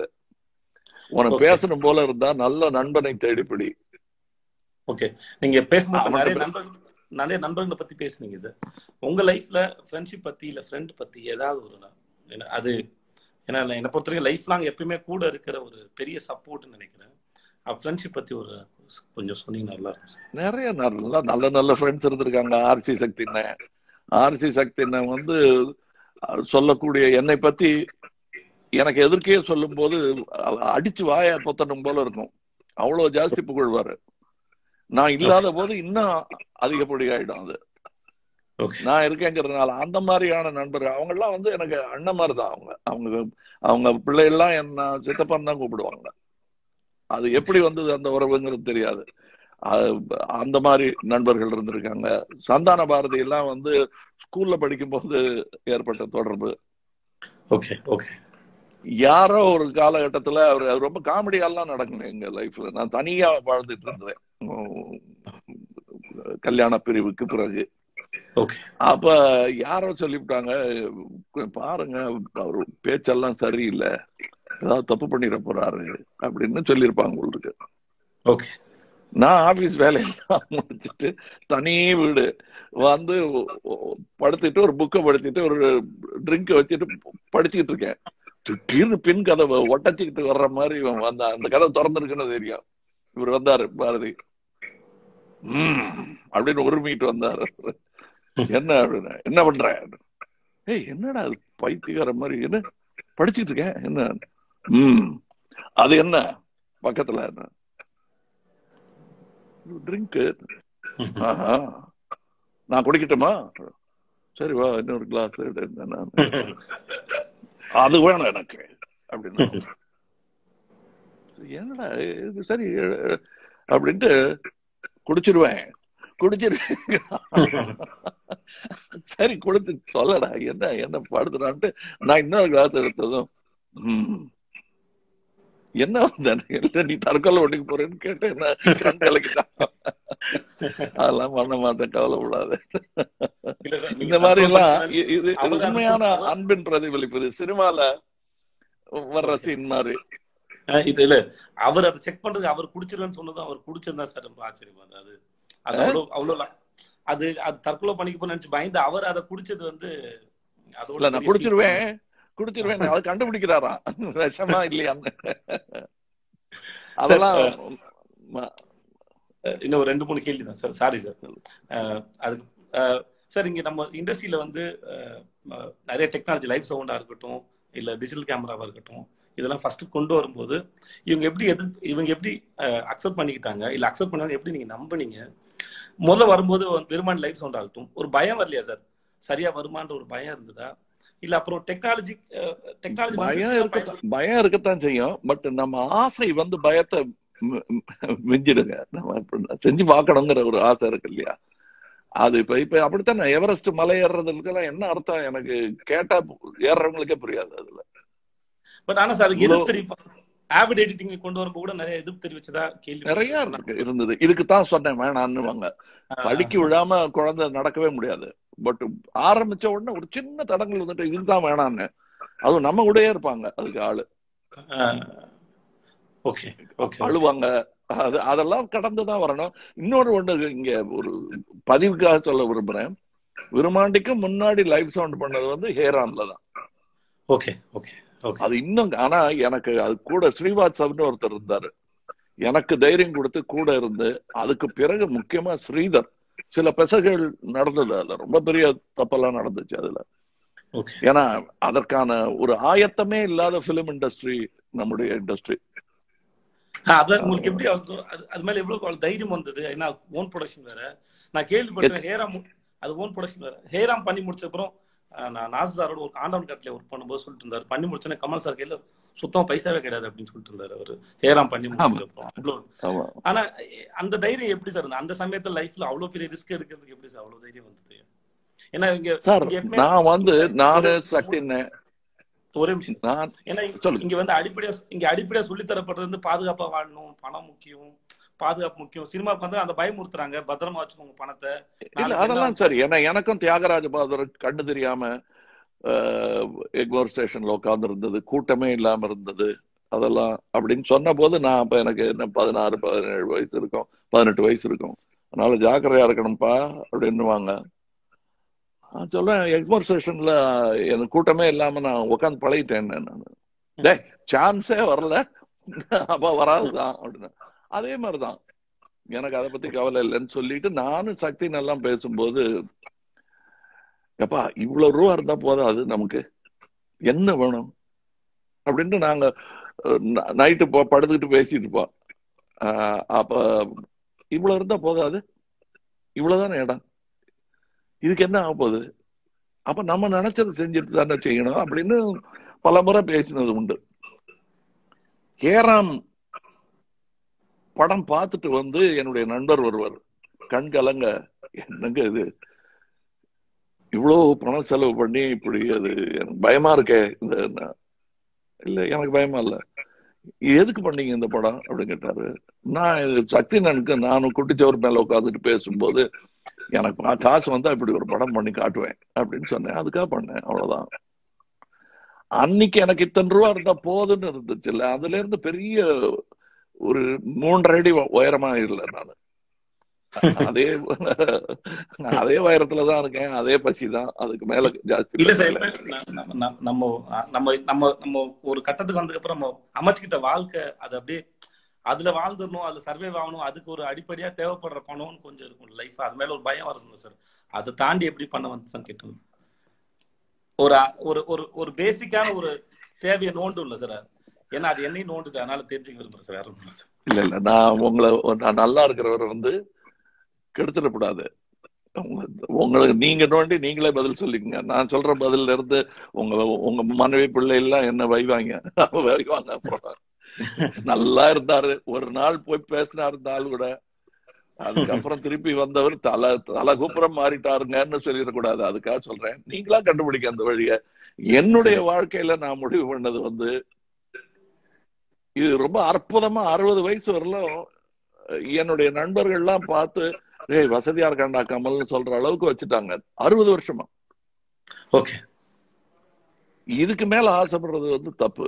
இதுக்கு மேல வர்றதெல்லாம் போனஸ் ஓகே ஓகே. இதுக்கு மேல நான் என்ன பண்ணாலும் ரைட்டு ஏன்னா நான். சீனியர் சிட்டிசன் நான் சொல்றதை கேளுங்க. சார் இப்ப ஹேராம் பத்தி பேசினாலும் சார் ஹேராம் பத்தி பேசினாலும் சார் ஹேராம் இப்போ சென்சாருக்கு வந்து நீங்க ஒரு வண்டி நிறைய வந்து ப்ரூஃப்லாம் எடுத்துட்டு போயிட்டு நீங்க சென்சாருக்கு வாங்குறதுக்காக பண்ணதா ஒரு பேச்சு. அது உண்மையா? நிறைய? நிறைய எடுத்துட்டு போனேன். வண்டி நிறையங்கிறது நம்ம சொல்லும் போது நல்லா இருக்கு நிறைய ப்ரூஃப் நிறைய ரிசர்ச் பண்ணியிருந்தேன். நான் சந்தித்த மனிதர்கள் எனக்கு பெரிய பெருமை. ஹேராம்ல அதாவது சென்சார்ல ஏற்பட்ட அவமானங்களை விட ஏன்னா சென்சார்லயும் நல்லவங்க நிறைய பேர் இருக்காங்க. நமக்காக கண் கலங்கக்கூடியவங்களே இருக்காங்க. ஆனா என்ன பண்றது? அது கவர்மெண்ட் உத்தியோகம். அரசு என்ன சொல்றது? ஒண்ணு. என்னுடைய ஹேராம வந்து சென்சார் பார்த்ததை விட ஒரு எம்பி அப்புறம் காலம் சென்ற சுஷ்மா ஸ்வராஜ் அவர்கள் பெரிய மனசு பண்ணி சத்ருகன் சின்ஹா அவர்கள் எல்லாரும் பிஜேபியில இருந்து வந்து அந்த படத்தை வெளியே விடணுமா இல்லையாங்கிறத முடிவு பண்ணி அவங்க ஓகே காட்டினதுக்கு அப்புறம் தான் அந்த படம் வெளியே வந்துச்சு. ஓகே. ஓகே இது சரித்திரம். இது நான் சொல்றது மிக இல்ல கம்மி இல்ல வேற ஒண்ணும் அதை பத்தி பேச விரும்பல. அந்த அளவுக்கு அதை உன்னிப்பா கவனிச்சிட்டு இருந்தாங்க. அதுல பெரிய எனக்கு அவமானம் என்னன்னா காங்கிரஸ்காரர்கள் சிலர் வந்து அது காந்திக்கு எதிரான படம்னு சொன்னாங்க. அதனால அந்த படத்தை பேன் பண்ணணும்னு அவங்களும் குரல் கொடுத்தாங்க. Okay okay okay. அதுல வருத்தப்பட்டது வந்து காந்தியின் கொள்ளு பேர் நானும் துஷார் காந்தியும் நானும் தான் ரொம்ப கட்டிக்கிட்டு கட்டிக்கிட்டு கண்ணீர் வடிக்காத குறை. ஏன்னா நாங்க வந்து எங்க கொள்ளு தாத்தாவுக்கு நானும் சேர்ந்துக்கிட்டு சொன்னேன் என் கொள்ளு தாத்தான்னு. கொள்ளு தாத்தாவுக்கு செய்த பெரும் மரியாதையாக நான் நினைக்கிறேன். ஏன்னா நான் சின்ன வயசுல அவமரியாதை எல்லாம் பேசியிருக்கேன். ஓகே. ஓகே நான் கண்டுபிடித்த காந்தி எங்க அப்பா சொல்லி கொடுத்த காந்தி கிடையாது என் ஸ்கூல்ல சொல்லி கொடுத்த காந்தி கிடையாது. நானாக தேடி பிடித்து மன்னிப்பு கேட்டு திரும்ப பெற்ற என்னுடைய கொள்ளு தா- கொள்ளு பாட்டம் தான் காந்தியார் சார் இப்போ how does it feel to be a fortune teller and have the last love sir அன்பே சிவத்துல சுனாமி பத்தி ஒரு அன்பே சிவத்துல சுனாமி பத்தி ஒரு வசனம். That is not a fortune that's not a fortune teller that's a misfortune teller. But ஆனா, இல்லைங்க அது எல்லாரும் என்னமோ அது பெரிய மந்திர சக்தியா என்னுடைய அஹ், அஹ், கட்சியில இருக்கிறவங்களே கூட பெரிய நாஸ்டடாமஸ் என்ன. அதெல்லாம் இல்லைங்க நம்ம வந்து முக்காலமும் உணர்வது எப்படிங்கிறது பெரிய மேஜிக்கே கிடையாதுங்க. கடந்த காலத்தையும் நிகழ்காலத்தையும் பின்னி இப்படித்தான் வரும்னு ஒரு கணக்கு போட்டோம்னா அது வருங்காலமும் தெரிஞ்சு போயிடும். அதாவது கொற்கையை அழித்த அல்லது பூம்புகாரை க- கடல் கொண்ட போது அது ஏன் நடந்ததுங்கிறத சயின்டிபிக்கா யோசிச்சோம்னா மறுபடியும் நிகழ வாய்ப்புண்டுங்கிறது தான் நான் சொல்லியிருக்கேன். இந்த தேதியில வரும்னு சொல்லலையே நான். இன்னைக்கு இந்த கிரகங்கள் எல்லாம் ஒரே கோளில் இருப்பதனால் இந்த இது நடக்கும். நடந்தே தீரும்னு நான் சொல்லலையே. இது ஒரு ஒரு பர்டிகுலர் கால்குலேஷன் அப்படின்னு இது. நடக்க கூடும் எப்பவுமே உங்களோட பேச்சுல வந்து ஒரு உள்ளர்த்தம் இருக்கும். அது வந்து எங்களுக்கு புரியலன்னு சொல்லி ஒரு ட்ரெண்டும் ரொம்ப காலமாகவே இருக்கு. அதாவது சாரோட பேச்சு அது. என்னன்னா அது என்னன்னா அதுக்கு முன்னாடி வரவே இல்லை. இது ஐயோ மத்தவங்களுக்கு புரிஞ்சிருமோங்கிற பயத்துக்காக சொல்லப்படும் சுவரொட்டிகள் அவை. இல்ல எங்க ஊர்ல சுவரொட்டிக்கே வேற அர்த்தம் உண்டு. சரி ஆனா ஆனா கொஞ்சம் இன்னும் சாரி சார் அதே கேள்வி தான் சார் ஆனா இன்னும் கொஞ்சம் எளிமையா இப்போ நான் சொன்ன மாதிரி கமல் சார் படங்களை புரிஞ்சுக்கிறதுக்கு இப்போ ஏதோ ஒரு படத்துல காமெடினா ஒரு காமெடி நான் சென்ஸ் பண்ணி ரசிக்கிறதுக்குள்ள எனக்கு அஞ்சாறு காமெடி வந்தது தொடர்ந்து வந்தது நான் ரசிச்சது கடக்கிறதுக்குள்ள ஒரு அஞ்சாறு காமெடி வந்தது ஸோ அது இன்னும் கொஞ்சம் எளிமையா இருக்கலாம் பேச்சும் சரி. எங்களுக்கு நான் என்ன என்ன வச்சு தான் சார் பேசுறேன் ஜென்ரலா வந்து அது அது என்ன ரொம்ப நாள் இருக்குது அது பேசப்பட்டு இருக்குது. அதனால அந்த இது நீங்க சொல்ற படம் வந்து. இல்ல இல்ல சரி. நீங்க சொல்ற அந்த படம் வந்து நீங்க மைக்கேல் மதன காமராஜன் எடுத்துக்குவோமே. Michael Kadhala Kadhala Michael Madana Kamarajan. காதல காதலா அதெல்லாம் எடுத்துக்கலாம். நீங்க வெற்றி படத்தையே எடுத்துக்குவோம். ஏன்னா தோல்விக்கான பல காரணங்களை யார் வேணா சொல்லலாம். அது அதனால வெற்றி படம்னு நீங்க எடுத்துக்கிட்டீங்கன்னா அது எல்லாருக்கும் புரிய போய் தானே மீண்டும் மீண்டும் பாக்குறாங்க உங்களுக்கு இன்னும் ரெண்டு ஜோக்கு மிஸ் ஆயிடுச்சுன்னு நீங்க நினைச்சு அது மறுபடியும் பாக்குறதுக்கான வாய்ப்பை நான் எனக்கு ஏற்படுத்திக்கிறேங்கிறது தான் அது. அது தாழ்மையாக நான் சொல்ல வேண்டியது என்னன்னா இல்லைன்னா ஒரு வாட்டி பார்த்துட்டு போதும் போதும் இதானே நான் ஏற்கனவே பண்ணிட்டேன்னு சேதுபதி நினைச்சிடக்கூடாது இல்லையா? அப்பா இதுல இன்னும் இது வேற இருக்கா? அப்படின்னு அடுத்த முறை நீங்க பார்க்கும்போது அது புரிஞ்சு நீங்க என்னை வந்து அண்ணனா ஏத்துக்கிறீங்க இல்லையா? அது எனக்கு ரொம்ப முக்கியம். அதனால அது புரிஞ்சிடும் கண்டிப்பா. அப்படி புரியலன்னா சேதுபதி எடுத்து சொல்லிடுவாங்க அந்த. ஆமா சார். இது என் மொழி. இது அதாவது இப்ப கலைஞரோ.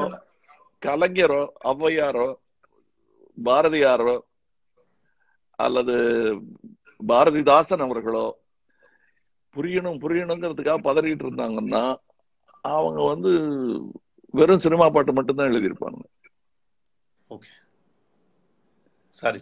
பயப்படவே இல்லை. அவர் பாரதியார் வந்து காற்று வெளியிடை கண்ணமான. அது சும்மா அப்படியே பட்டம் பறக்குது போலே பறக்குது மாவும் மேலாடை அப்படியேதான் லைட்டா பண்ணிடலாம் சார். காற்று வெளியிட கண்ணம்மா உன் காதலை எண்ணித்து வைக்கின்றேன். அமுது இற்றனை ஒத்த இதழ்களும் அப்படின்னு சொல்ற அமுது ஊத்து என்ன சார்? ஊத்துனா தண்ணி வர்றது தானே அமுது ஊத்துன்றீங்களே நீங்க. அப்படின்லாம் கேட்டா பாரதியே கிடையாது. டர்பன் கலந்து போச்சுன்னு அர்த்தம். நான் இப்படித்தான் இதை புரிந்து கொள்வார்கள். தமிழர்கள் புரிந்து கொள்வார்கள். உங்களுக்கு புரிஞ்சது. வேணும்னா உங்களுக்கு புரியலன்னா தெலுங்குல சொல்லிட்டு போறேன். சார் அப்புறம் தேவரம படத்துல ரெண்டு மூணு வருஷம் ரொம்ப பிடிச்சது. ஒண்ணு வந்து நாசு சார் வந்து சிவாஜி சார் வந்து ஐயா ஐயா ஐயோ அப்படின்னு சொல்லுவாரு. அந்த ஒரு அந்த ஒரு வார்த்தை அவ்வளவு அழகா அது அது ஆக்சுவலா செம டீசிங்கா இருக்கும் அது. அது அல்ல அந்த- அது நான் வந்து இப்ப வந்து கமலஹாசனுக்கு சபாட் சொல்வதை விட அதை ரசித்தவருக்கு சபாட் சொல்லணும். இதெல்லாம் வீணா போயிடும் இதுவா புரியாதுங்கிறாங்க. அந்த பாஷையில சொன்னோம்னா விரும்பாண்டி பாஷையில சொல்ல வெட்ட வேணாம் அவங்க இத புரிஞ்சிட்டு இருக்கீங்க பாருங்க. அதுவும் உங்களுக்கு எத்தனை பெரிய தாக்கத்தை ஏற்படும்? அதை எழுதும் போது நான் எவ்வளவு சந்தோஷப்பட்டு எழுதியிருப்பேன்? அதை அதாவது அது அது- அது அந்த அது புரிஞ்சிருத்துங்கும் போது எனக்கு கிடைக்கக்கூடிய அது பொன்னாடை மாலைகள் எல்லாம் விட பெரிய விஷயம் அது. அது இது இத்தனை வருஷம் கழிச்சு நீங்க சொல்றீங்க. சார் ரொம்ப முக்கியமான இடத்துல அவ்வளவு போதும் அப்படின்னு அந்த ஒரு வார்த்தையை வச்சு அவ்வளவு ப்ளே பண்ணா போதும்னு அவ்வளவு அது. ஏன்னா அது இப்ப நீங்க உங்களுக்கு ஏன் அது சுளீர்னு பட்டுச்சு தெரியுமாங்க? மெட்ராஸ்ல இருக்கிறவங்களுக்கு அது புரியாதுங்க. அதுல இருக்கிற அவமானமே புரியாது. Okay okay okay. ஏன்னா மெட்ராஸ்ல டப்புன்னு ஒருமையில பேசிடுவாங்க. என்ன படம் நினைச்சு நிக்கிற நீ? அப்படின்னுவாங்க. என்ன படம் நினைச்சு நிக்கிற நீன்னுவாங்க. ஆனா நீங்க உங்க ஊருக்கு போனீங்கன்னா உங்களை அப்படி யாரும் ஒருமையில பேச மாட்டாங்க. ஆமா அது வந்து குத்தும். சார் சொல்றாங்களோ இல்லையோ டக்குன்னு நீன்னு சொல்ல மாட்டாங்க. இங்க வந்து பல்வேறு மொழிகள் தெலுங்கு கன்னடம் உருது ஹிந்தி எல்லாம் கலந்துருந்ததுனால பாமர மக்களுக்கு வந்து தமிழ் மறந்து போச்சு. அதனால தமிழ் கலாச்சாரம் என்ன அதுல எப்படி மரியாதையா இருக்கணுங்கிறத மறந்து போயிட்டாங்க. அதனாலேயே எங்க அப்பா கடைசி வரலும் நான் சென்னைக்கு வர மாட்டேன் பிராக்டிஸ் பண்ணேன்னு எல்லாரும் என்ன பார்த்து ஒருமையில பேசுறாங்க. நானே அப்படி பேச மாட்டேன் ஒரு சின்ன பையனை பார்த்து. எனக்கு தாங்காது மெட்ராஸ் அவரு. ஓகே அப்படிப்பட்ட மெட்ராஸ்ல இருக்கிறவங்களுக்கு ஐயா ஐயோ நாங்கிறதே அவன் மரியாதை யோ ஆனா- அப்படின்னா முடிஞ்சது வெட்டு குத்து தான். சார் விருமாண்டில அதுவும்- வந்து அந்த அஹ், விருமாண்டில அந்த பஞ்சாயத்து சீன் போயிட்டு இருக்கோம் அப்படியா? உனக்கு எல்லாம் தெரியுமா? எனக்கு இப்ப எங்க அடிக்குதுன்னு சொல்லி பாப்போம். இப்படி அந்த அந்த விரும்பாண்டி நானும் தான். இப்ப கனிவா தானே சொன்னாரு. சேதுபதி ஒன்று தப்பா சொல்லலையே. கொஞ்சம் புரியுற மாதிரி ஒரு வேண்டுகோள் தானே வச்சாரு. அதுக்கு அதுக்கு நான் சொன்னது கிட்டத்தட்ட விரும்பாண்டி பதில் தான். எனக்கு இப்ப அரிக்குது எங்க அரிக்குதுன்னு சொல்லுவோம் இல்ல நீங்க அப்படிதான் சொன்னீங்க. அதுதான் கிட்டத்தட்ட அது காரணம் அது எனக்குள்ளேயும் இருக்கிற விரும்பாண்டி தானுங்க. அது இல்லைன்னா அவ்வளவு எளிமையா வராது அது. அந்த கோபம் எனக்கு இருக்கு. அதான் ஆனா நிதானமா கோபப்படணும்னு இன்னொரு படத்துல சொல்லி அதை எனக்கே புத்தி சொல்லிக்கிட்ட புத்தி அது. இல்ல சார் எனக்கு என்னன்னா இப்போ நான் அரசியல் இப்போ நான் மூலம் நீங்க அரசியல் வந்து பெருசா வரவே இருக்கேன் சார். முக்கியமான காரணம் வந்து என்கிட்ட இருக்கிற அதுக்கு முக்கிய என்கிட்ட இருக்க காரணம் வந்து இத்தனை வருஷமா வந்து சினிமா மேல எவ்வளவு அக்கறையாவும் நேர்மையாவும் எங்களுக்கு கொடுத்த மனுஷன் அரசியல் வரும்போது நான் அதுல இதே அளவு நேர்மை அதுல இருக்குங்கிற முக்கியமான நம்பிக்கை சார். அதனால நான் ரொம்ப ஆத்மார்த்தமா வரவே இருக்கேன் சார். ஒண்ணு கண்டிப்பா நான் அதை நான் நான் யாருங்கிறத வந்து உங்களுக்கு மறு அறிமுகம் செய்யணும். ஏன்னா இதெல்லாம் இவ்வளவு நீங்க என் கூட பேசினதே கிடையாது. ஆமா சார். அதனால என்ன முழுமையா தெரிஞ்சுக்கணும் இப்ப ஆர்சி சக்தி எல்லாம் தெரிஞ்சுக்கிட்ட மாதிரி சந்தான பாரதி எல்லாம் தெரிஞ்சுக்கிட்ட மாதிரி நீங்களும் தெரிஞ்சுக்கணும். ஏன்னா சில நண்பர்கள் இழக்கும் போது அவ்வளவுதான் முடிஞ்சு போச்சு நட்புன்னு முடிவு பண்ண முடியாது இல்லையா. அதுக்கேத்த ரீப்ளேஸ்மெண்ட்ஸ் எல்லாம் தேடிட்டு இருக்கேன் நான். அதுவா நீங்க ஏன் இருக்கக்கூடாதுங்கிறது தான். சந்தோஷம் சார். கிடைச்சதுதான் சந்தோஷம் சார். சார் நீங்க ஒரு கேள்வி சார். இப்ப இளையராஜா சாரும் நீங்களும் வந்து அரசியல் பத்தி நீங்க ஒரு விகடன் மேடையில் அவரோட சந்திக்கும் போது ரொம்ப வருஷமா இளையராஜா சார் வந்து நீங்க அரசியல் வரணும்னு கேட்டுக்கிட்டாரு எப்ப தொடங்குச்சு?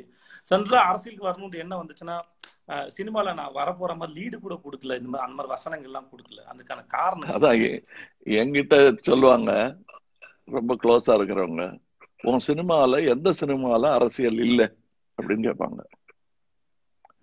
உத்து கவனிச்சீங்கன்னா எல்லாத்துலயும் ஒரு கொட்டு இருக்கும் ஒரு சொட்டு இருக்கும் ஒரு பழையாறுன்னு ஒரு அடி இருக்கும். ஏதாவது ஒண்ணு இல்லாம இருக்காது. நீங்க இது இதுல இருந்து வறுமை நிற சிவப்பு காலத்துல இருந்து நான் சொல்றது. ரொம்ப தைரியமான சில கருத்துக்கள் எல்லாம் சொல்லியிருப்போம். அது சத்யால வந்து டைரக்டா அரசியலே பேசியிருப்போம். ஆமா அரசியல்வாதி அப்படின்னே சொல்லியிருப்போம். தேவர் மகன்ல வந்து சொல்லாம சொல்லியிருப்பான். அதுல என்ன அந்த பேர் வைக்க வச்சிருக்க ஆக்சுவலி தேவர் மகனுக்கு ஒரிஜினலா நான் வைக்க நினைச்ச பேரு. கோச்சிட்டு போயிட்டாரு அனந்த் சார். நாங்க ரெண்டு பேரும் ஓகே பண்ணி வச்சிருந்த பேர் நம்மவர். ஓகே அது வேண்டாம்னு சொல்லி வாலிதார் தான் சஜஸ்ட் பண்ணாரு. ஏ இதான் பேரு இதுதான் கரெக்ட் அப்படின்னாரு. அது எல்லாரும் வழிமொழிஞ்சுட்டான் அது அப்படி அதுக்காக பெரிய கோவப்பட்டவங்க எல்லாம் உண்டு. பட் நான். சொல்ல வந்தது வந்து என்னுடைய கருத்தை மிஸ் பண்ணிட்டு சண்டை இந்த சின்ன சண்டை சாதிக சண்டைகள் வந்து ரொம்ப பிடிக்கும் தமிழகத்துக்கு. அது வழக்கம் அது வழக்கம். நான் அடுத்து நான் எடுத்து வைத்த அடி வந்து உங்களுக்கு ஹேரா மாதிரி ஒரு பொலிட்டிக்கல் ஃபிலிம் வளர வளர இன்னும் காலம் போக போக அது இன்னும் மோர் பொலிட்டிக்கல் ஃபிலிமா மாறிட்டு இருக்கு. ஓகே ஓகே ஓகே இன்னைக்கு எனக்கு பார்க்கும்போது நாக்க கடிச்சுக்கிட்டேன் சில இடங்கள்ல. அத்தி இப்படி சொல்லிவிட்டோமே கொஞ்சம் அளந்து போட்டிருக்கலாமே கொஞ்சம். காரம் ஜாஸ்தியா இருக்கேன்னுலாம் நினைச்சிட்டது உண்டு. ஓகே ஆனா இல்ல சார் நீ- இப்ப நீங்க நீங்க ஒரு வார்த்தை சொன்னீங்க. நான் ஒத்து கவனிச்சீங்கன்னா அதுல எல்லா எல்லா படத்துலயும் நீங்க அரசியல் பேசிருக்கீங்க. அரசியலும் சரி கடவுள் நம்பிக்கையை பத்தின உங்க கருத்து அபூர்வ சோதரில் வரும். கடவுள் கேட்கிற மூட்ல இருக்காரு. அர்த்தம் எப்படி சாகணும்னு சொல்லு அப்படிங்கிறதா இருக்கட்டும். சத்யால வந்து பிள்ளையார் போல ஆஞ்சநேயர் மாத்து ஆஞ்சநேயர் கயிறு கட்டு அப்படின்னு சொல்றதா இருக்கட்டும் தங்கச்சிக்கிட்ட சொல்றதா இருக்கட்டும். ஸோ இது மாதிரி ஒவ்வொரு படத்துலயும் உங்களுக்கு நீங்க சொல்ல விரும்ப சொல்லிட்டு இருக்கேன் ஆனா ஓப்பனா அரசியல் ஆர்வம் இருக்கு. அரசியல் நீங்க மக் அரசியல பேசுனீங்க சார். ஆனா அரசியல் நீங்க வருவதற்கான நீங்க வரப்போறதுக்கு அது அது அது சொல்லாம இருக்கிறது தான் சார் பெட்டர் என்ன தடுக்கிறதுக்கு நிறைய பேர் இருப்பாங்க. அது நான் புரிஞ்சுக்கிட்டது வந்து ரெண்டாயிரத்தி ஒண்ணுலயே புரிஞ்சிருச்சு எனக்கு. ஓகே. ஏன்னா அப்ப நாம் வந்துருவேணுங்கிற சந்தேகத்துல என் முன்னால் வைக்கப்பட்ட இடைஞ்சல்கள் வந்து கணக்கில் அடங்கா ஓகே அது- இப்ப திரும்ப சொல்லி காட்ட விரும்பல அது. பட் நிறைய விரும்மாண்டிகள்லாம் வந்து என்ன சார் அதுல வந்து தெரியும் அது திடீர்னு கிளப்பி விடப்பட்டது தானே அது உங்களுக்கு தெரியலையா அது? இல்ல அந்த இன்டர்வியூ பாத்துருக்கேன் சார் மொட்டை அடிச்சுட்டு உங்களோட இன்டர்வியூ ஒண்ணு. அது அப்பவே தெரிஞ்சிருச்சு பட் அதெல்லாம் கொஞ்சம் அதான் நிதானமா கோவப்படணுங்கிறது புரிஞ்சுக்கிட்ட நேரம் அது. ஓகே சார் எதால சார் காலம் எல்லாம் இவ்வளவு நாள் தள்ளி தள்ளி போட்டதுக்கான காரணம் சார்? நீங்க வர்றதுக்கு அரசியல் வர தள்ளி போட்டதுக்கான ஒரு அனௌன்ஸ்மெண்ட் வர்றதுக்கான காரணம் தள்ளி போட்டுட்டு அதாவது அதற்கான சூழல் வயது வரணும். இவன். வந்துட்டானா? அப்படின்னு சொல்லக்கூடாது என்ன? இவர்னு சொல்ற வயசு வரணும். ஓகே ஓகே அதுக்காக காத்திருந்தேன். ஓகே ஓகே சரி. இல்லைன்னா இவனா? அப்படின்னு ஆரம்பிப்ப ஒருமையில பேசுறது ரொம்ப சுலபம் இல்லைங்களா? அந்த மரியாதை இப்ப வரணும். நடிகனை வழக்கமா ஒருமையில பேசுவாங்க சார். வெளியே இருக்கும் எப்பயும் வந்து அது சிவாஜி சாரே சொல்லுவாரு. ரொம்ப மரியாதை இல்ல. ஏ அவன் என்னைக்குடா சிவாஜி தான் நல்லா நடிக்கிறான்னு தான் சொல்லுவான். வண்டியை நிறுத்தி கண்ணாடி இறக்கி என்னங்க? அப்படின்னு ஐயா வணக்கம்பா அது அப்படித்தான் உண்டு. அப்படின்னாரு. சார் பெயர் காரணம் சார் மக்கள் நீதி மையம் பேர் அது நீங்க நீங்க ஒரு வசனம் பேசும்போது அதுக்கு எவ்வளவு உள்ள அர்த்தம் எவ்வளவு ஆழமா சென்ஸ் பண்ணி வைக்கிறீங்க? நான் அது உங்க வாயில கேட்கணும். மக்கள் நீதி மையம் அப்படின்னு பேர் வச்ச காரணம் அதோட. மையம்ங்கிற பேர் வந்து என்னை மையம் கொண்ட ஒரு சொல் அது. அது அங்க இருக்கிறது மாதிரி புயலின் மையம். அமைதியான இடம் அது. ஓகே. புயலின் கண்ணுப்பாங்க தெரியுமா? அங்க புயலே இருக்காது. அதுல இருந்து ஆரம்பிச்சு மையமாக இருப்பதில் இருக்கக்கூடிய பல பிரச்சனைகள். அது ஒரு அது கிட்டத்தட்ட துறவு மாதிரி அது. மையத்துல இருக்கிறது மையத்துல இருந்தா சுட்டு கொண்டுருவாங்க காந்தி ஒரு உதாரணம். ஓகே. ரெண்டுக்கும் எனக்கு ரெண்டும் வேணும். நான் மையத்துல தான் இருப்பேன். அப்படின்னு சொல்ற விஷயம் இருக்கு இல்லையா? அதனால எனக்கு அந்த வார்த்தை வந்து பிடித்த ஒரு விஷயம். ஆல்சோ அது வந்து ஒரு சென்டர்ங்கிற அந்த ஆங்கில அர்த்தத்தில் பார்த்தாலும் அதுக்கு ஒரு பெரிய அர்த்தம் இருக்கு. மக்கள் நீதிங்கிறத மறந்துட்டு இன்னாருக்காக இதுக்காக இதுக்காக அப்படிங்கிற ஒரு இனக்குறிப்புகள் இல்லாம மக்கள்னு சொல்லும்போது எவ்வளவு பரந்த சொல் அது. உலகமே. மக்கள் எப்படியோ? உலகமே உலகமே. ஆமா அதனாலதான் உங்களுக்கு கம்யூனிசம்னு சொல்லும்போது கம்யூன்ங்கிறது வந்து யாரா வேணா இருக்கலாம் ஓகே இஸ்லாமிய கம்யூனிட்டி கிறிஸ்துவ கம்யூனிட்டி ஓகே பார்ப்பனர் கம்யூனிட்டி செட்டியார் கம்யூனிட்டின்னு தனியா பிரிக்க கம்யூன்னா எல்லாமே தான் அந்த மாதிரி ஒரு நல்ல பேரா இருக்கணுங்கிறதுக்காக தான். அதுல நீதிக்காகத்தான் ஆரம்ப காலத்துல அரசுன்னு ஆரம்பித்த உடனே ரிப்பப்ளிக்னதும் மக்கள் கேட்டு வருவது நீதிதான். ஓகே. அதற்கு போராடும் ஒரு கட்சியாக இருக்க வேண்டும்ங்கிறதுக்கு தான். இப்ப நம்ம பேசிட்டு இருக்கிற இந்த டேபிள்ல உட்கார்ந்துதான் இந்த பேரை எழுதி எழுதி போட்டுக்கிட்டே இருந்தேன் நான். ஓகே. வெவ்வேறு முறையாக நீங்க நீங்க ஆரம்பிக்கும் போது எவ்வளவு விமர்சனம் வைப்பாங்க?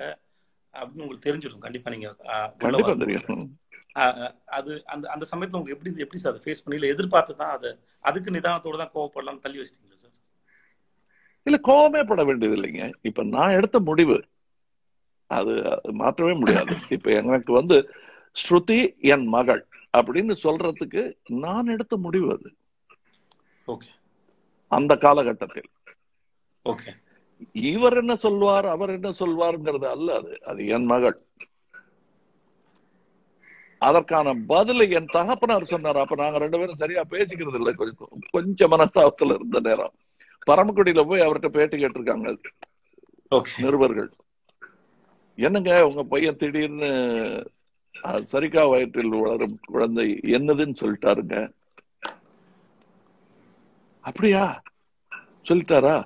அப்ப அது என் பேத்தி. அதோட முடிஞ்சது அது. அவருடைய அவருடைய மகன் நான். அதனால ஒரு எடு எடுக்கிற முடிவை வந்து யோசிக்காம அதுதான் நான் முதல்ல சொல்லும்போது சொன்னேன்.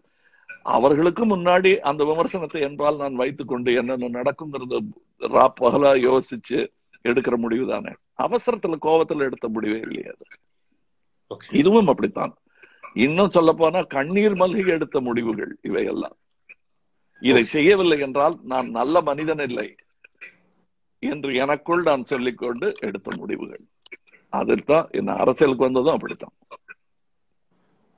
நன்றி நன்றி சார். ரொம்ப நன்றி சார். தேங்க்யூ ரொம்ப போர் அடிச்சுட்டேனா? சார் இல்ல சார் இல்ல சார். ரொம்ப நல்லா நான் உங்களுக்கு உங்க நேரத்தை அதிகமா எடுத்துக்கிறேன் கான்சியஸ் நாங்க ரெண்டு பேரும் சும்மா போட்டி போட்டு யாரு கேட்கலாம் ஒரு ஒரு கான்சியஸ் ஆகும் சார் என்னோட எனக்கு ஒரே ஒரு கேள்வி சார். அதை நான் முடிச்சுக்கிறேன் சார். உங்களுக்கு ஃபில்ம் மேக்கரா உங்களை எக்ஸைட் பண்றது சார். நீங்க டைரக்ஷனா ஆக்டிங்கா இல்ல சீன் டிஸ்கஸ் பண்றதா? இல்ல கேரக்டர் இது வந்து அவை அடக்கம்னு மாத்திரம் தயவு செய்து நினைச்சிடாதீங்க. எனக்கு ரொம்ப எக்ஸைட்டிங் ஒரு படம் எடுக்கிறதுக்கு போது அப்படியே ஒரு மாதிரி சமைக்கும் போதே சாப்பிடணும்னு தோணும் தெரியுமா? அது அப்படியே எடுத்து வாசனை- கொஞ்சம் போட்டுக்கலாமா? அது மாதிரி ஆசையா இருக்கிறது வந்து மக்களுடன் அந்த சினிமாவை முதல் முறையா பாக்குறோம்ல அதுக்காகத்தான் நான் படமே எடுக்கிறேன். சம்பளம் ரெண்டாவது. ரெ- சம்பளம் எதுக்குன்னா அடுத்த படம் எடுக்கிறதுக்கு. என்னுடைய சந்தோஷமே அது. இப்படி இப்படி சைட்ல பாத்துக்கிட்டு படம் பாக்குறதுல இருக்கக்கூடிய சந்தோஷம் டைரக்ஷன்ல கிடையாது நடிப்புல கிடையாது நட்சத்திரத்தை பார்த்து உலகன் நாயகன் கத்துறதுல எல்லாம் கிடையாது எனக்கு. அது நம்ம நம்ம சொன்னதெல்லாம் போய் சேருதே அப்படிங்கிற அந்த சந்தோஷம் இருக்கு தெரியுமா? அந்த மாதிரி ஒரு பட்டாம்பூச்சி வந்து காதல்ல மட்டும்தான் வரும். நன்றி நன்றி சார். சார் இந்த இந்த இந்த கொரோனா லாக்டவுன் இந்த நோயை தாண்டி எனக்கு எனக்கு பர்சனலா எனக்கு இருக்கிற பயம் வந்து கொடுமையான நோய் பசி தான் நான் நம்புறேன். இது ரொம்ப நாள் லாக்டவுன்ல இருக்கிறவங்க இந்த மக்கள் இதை ஃபேஸ் பண்றவங்க லோயர் மிடில் கிளாஸ் ஏன்னா எத்தனை பேர் வட்டி காசு வாங்கியிருப்பாங்க கடங்கார எவ்வளவு பேர் கேட்பாங்க எத்தனை பேர் வாடகை குறைக்கிறாங்க தள்ளுபடி பண்றாங்கன்னு தெரியுது. ஏன்னா வேலை தொடங்கின உடனே எவ்வளவு பேர் எவ்வளவு பிரச்சனையில மாட்டுவாங்க தெரியாது. இந்த மாதிரி சூழ்நிலை இந்த லாக்டவுன் எக்ஸ்டெண்ட் ஆகிட்டே போயிட்டே இருக்கு. ஆனா அந்த இல்ல அடித்தட்டு நான் நான் கேட்டது முதல்லயே நான் எனக்கு பிரதமர் மேல கோவம் இல்லைங்க. அது ஒரு அஞ்சு வருஷத்து வாழ்க்கை தானேங்க இந்த பிரதமங்கிறது அப்புறம் யார் வேணா வரலாம். ஆனால் இந்த ஏழையை பாதுகாக்க வேண்டியது வந்து நம்முடைய குடியுரிமை சட்டத்துல முக்கியமான இருக்க- இருக்கக்கூடிய ஒரு அம்சம். நேத்தி வரலும் அவன் வந்து அன்றாடம் காட்சி அவன்.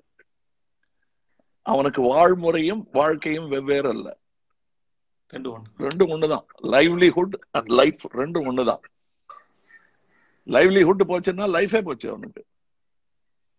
இன்னைக்கு அவன் கண்ணியமா தைரியமா யாருக்கும் நான் அடிமை இல்லைன்னு சொல்லிட்டு போறதுக்கு ஒரே காரணம் டெய்லி சாப்பாட்டுக்கு அவனுக்கு சம்பளம் வருது பொண்டாட்டி சாப்பிடுது புள்ள சாப்பிடுது. அவனை வந்து நாலே நாள்ல தெருவில் தூக்கி போட்டோம் நீங்களும் நானும். அப்புறம் பேசலாம். நம்ம சீஃப் மினிஸ்டரையும் பிரைம் மினிஸ்டரையும் பேசலாம். நாம எப்படி ஒத்துக்கிட்டோம் அதுக்கு? பெரிய குரல் நம்மளை எழுப்பலையே அப்படிங்கிற பதட்டத்துலதான் நான் அந்த கடிதம் எழுதினேன் தவிர இவருக்கு புகழுக்காக அதை எழுதினார் புகழுக்காக எழுதணும்னா அவரை புகழ்ந்து எழுதிட்டா இன்னும் பெரிய புகழ் வரும்ல? உண்மை. பட் இது நீங்க கேட்கிற கேள்வி எல்லாரும் கேட்கணும். தயவு செய்து நாம எல்லாரும் நாம் இது இன்னும் கொடுமையாக வளராமல் இருக்க வேண்டும். இந்த யாருக்கு கொரோனா. அரசாங்கம் கொடுக்குது தன்னார்வ தொண்டு நிறுவனங்கள் சாப்பாடு போடுறாங்க ஃப்ரெண்ட்ஸ் எல்லாம் பண்றாங்க. அவங்கவுங்க பக்கத்து பண்ணாலுமே ஆனா அது எவ்வளவு நாளைக்கு முடியும் எவ்வளவு நாள் தாங்கும் அவங்களோட அது முடியாது. நான் அது அது இல்லைங்கள. நான் என்ன சொல்றேன்னா அரசாங்கம் தன்னார்வலர்களை மதிக்கவில்லை. தமிழக அரசை சொல்றேன் நான். மதிச்ச மாநிலங்கள்ல அதற்கான பலனை அனுபவித்துக் கொண்டிருக்கிறார்கள். Okay. தன்னார்வலர்களையும் தனியார் உங்களையும் வேணாம் வேணாம் நாங்களே பாத்துக்கிறோம் நான் நானே பாத்துக்கிறேன் அப்படிங்கிற ஒரு ஒரு அது அசட்டுத்தனம் தான். அகந்தை கூட இல்ல. ஓகே. அவங்க நம்மளெல்லாம் எடுத்துக்கணும். நமக்கு சும்மா பணம் கொடு பணம் கொடுங்கிறதுல அர்த்தம் இல்ல. நாளைக்கு எண்ணிக்கைகள் அதிகமாச்சுன்னா நீங்களும் நானும் தெருவுக்கு வருவோம். நிச்சயம். அப்புறம் என் வயசையும் எனக்கு இருக்கிற வியாதி எல்லாம் பத்தி கவலைப்பட மாட்டேன். ஏன்னா உங்க பையனை காப்பாற்ற வேண்டியது உங்க கடமை இல்லையா? எஸ் அது மாதிரி எத்தனையோ பிள்ளைகள் இருப்பாங்க இல்லையா? அப்ப நம்ம எல்லாம் தெருவில் இறங்க வேண்டி வரும். அந்த மாதிரி ஒரு ரெவல்யூ ரெவல்யூஷனுக்கு விதை விதைக்க கூடாது இந்த சுயநல அரசியல். அதைத்தான் நான் கோவப்படுறேன் நான். அது எந்த அரசியல்வாதி நான் பேர் சொல்லிலாம் எல்லாம் சொல்லல.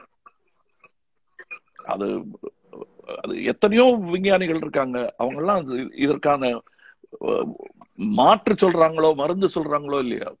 உதவி. ஓடி வந்து உதவி செய்ய காத்திருக்கிறார்கள்.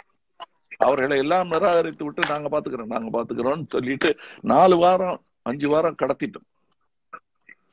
Okay okay. இனி தேவைப்பட்டால் நாம் எல்லோரும் நம் மக்களுக்காக வீதிக்கு வருவோம். அரசியல் அரசியல்லாம் இல்லைங்க அது.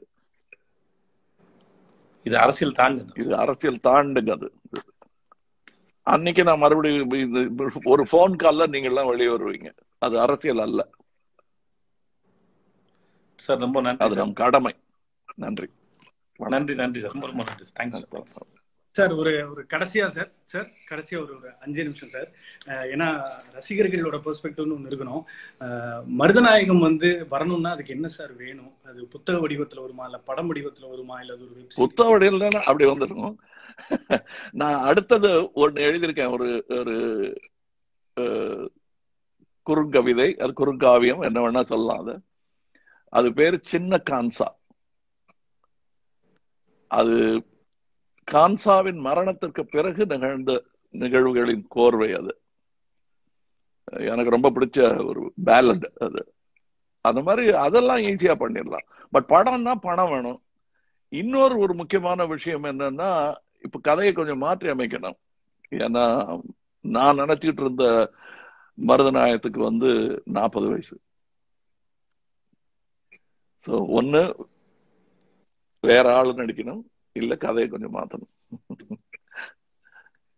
சார் இப்போ இந்த லாக்டவுன் டயத்துல வந்து நிறைய எண்ணங்கள் போயிட்டு இருக்கு எல்லாரும் மத்தியிலுமே. அதுல இப்போ இந்த அடுத்து உருவாக போற ஜென்ரேஷன்றதுல பேரண்டிங்கிறது ரொம்ப முக்கியமான ஒரு ஒரு விஷயமா இருக்கு sir. What is parenting and இப்போ வாட் வாட் யூத்துக்கு என்னதான் சார் சொல்லி வளர்க்கணும் அவ்வளோ யூ சீட் அவங்களுக்கு முன்னுதாரணமா இருக்க வேண்டியதும் அவங்களுக்கு அது பெரிய அறிவுரைகள்லாம் சொல்ல வேண்டியதில்லை. பொய் பேசின பிள்ளைய பெல்ட்டால் அடிச்சுவிட்டு கடங்காரன் டெலிபோன்ல வரும்போது நான் இல்லைன்னு சொல்லுன்னு சொல்லிட்டா நீங்க கத்து கொடுத்த பாடமே காலி. அப்படி வளர்க்க கூடாது அதுதான் எனக்கு தெரியும். என் பிள்ளைகளை பத்தி கேட்கும் போது நான் சொன்னது எப்படி வளர்ப்பீங்கன்னா மரம் மாதிரிங்க தண்ணி ஊத்துவேன் களையெல்லாம் வெட்டிட்டு போன்சாய் மரங்கள் வளர்ப்பதில் எனக்கு ஆர்வம் இல்லை என்னை விட உயரமாக என்னை தாண்டி நான் ஏற முடியாத அளவு கனத்துடன் அந்த மரங்கள் வளர வேண்டும்னு நான் ஒரு முப்பது முப்பத்தஞ்சு வருஷம் முன்னாடி சொல்லியிருக்கேன். இப்பவும் அதைத்தான் நான் சொல்லுவேன். அந்த அம்மாவுக்கு செய்- செய்ய முடிஞ்ச எல்லா உதவியும் செய்யணும் அவங்களுக்கு. முக்கியமா அன்பும் அறிவும் அவர்களுக்கு கொடுத்தே ஆகணும். பாக்கியெல்லாம் அவங்க பாத்துக்குவாங்க அவங்க முடிவு பண்ணிக்குவாங்க. இன்னொன்னு என்னன்னா எல்லாரும் பெரிய பெரிய ஆபீஸ் வச்சுக்கிட்டு ஆபீஸ்க்கு போயிட்டு வரேன்னு சொல்லிட்டு போற காலகட்டங்கள்லாம் மாறப்போகிறது என்று திண்ணமாக நான் நம்புகிறேன். சோ வீடு மக்கள் உறவு என்பது வலுக்க போகிறது என்றும் நான் நம்புகிறேன். சார் நீங்க இமேஜின் பண்ற தமிழ்நாடு என்ன சார் சமீபத்துல இந்த ட்ரில்லியன் எக்கானமி பத்தி பேசியிருந்தீங்க. ஒரு சொல்யூஷன் ட்ரிவன் பாலிடிக்ஸ்ன்றது வர போகுதா ஏன்னா கண்டிப்பா வரணும். அதுக்காக தான் நான். வந்திருக்கேன். மாதிரியே அது அல்ல எங்க வேலை. நாங்க கண்டனம் தெரிவிச்சா தான் இவங்க யார நாங்க ரீப்ளேஸ் பண்றோங்கிறது தெரியும். எது வேண்டாம் என்பதை சொல்லி காட்டிவிட்டு நாங்கள் வருகிறோம் என்று சொல்லுகிறோமே தவிர என்னுடைய லைஃப் ஒர்க் இனி அதான். நன்றி. நன்றி ரொம்ப ரொம்ப நன்றி sir. Thank you so very much நாங்க எல்லாருமே உங்களோட ஏலக்கை கைவன்ஸ் தான். கடைசி வரைக்கும் அப்படியே தான் சார் இருக்கும். Thank you sir thank you நன்றி சார் நன்றி ரொம்ப நன்றி. நன்றி ரொம்ப ரொம்ப சந்தோஷம். Thank you sir thank you sir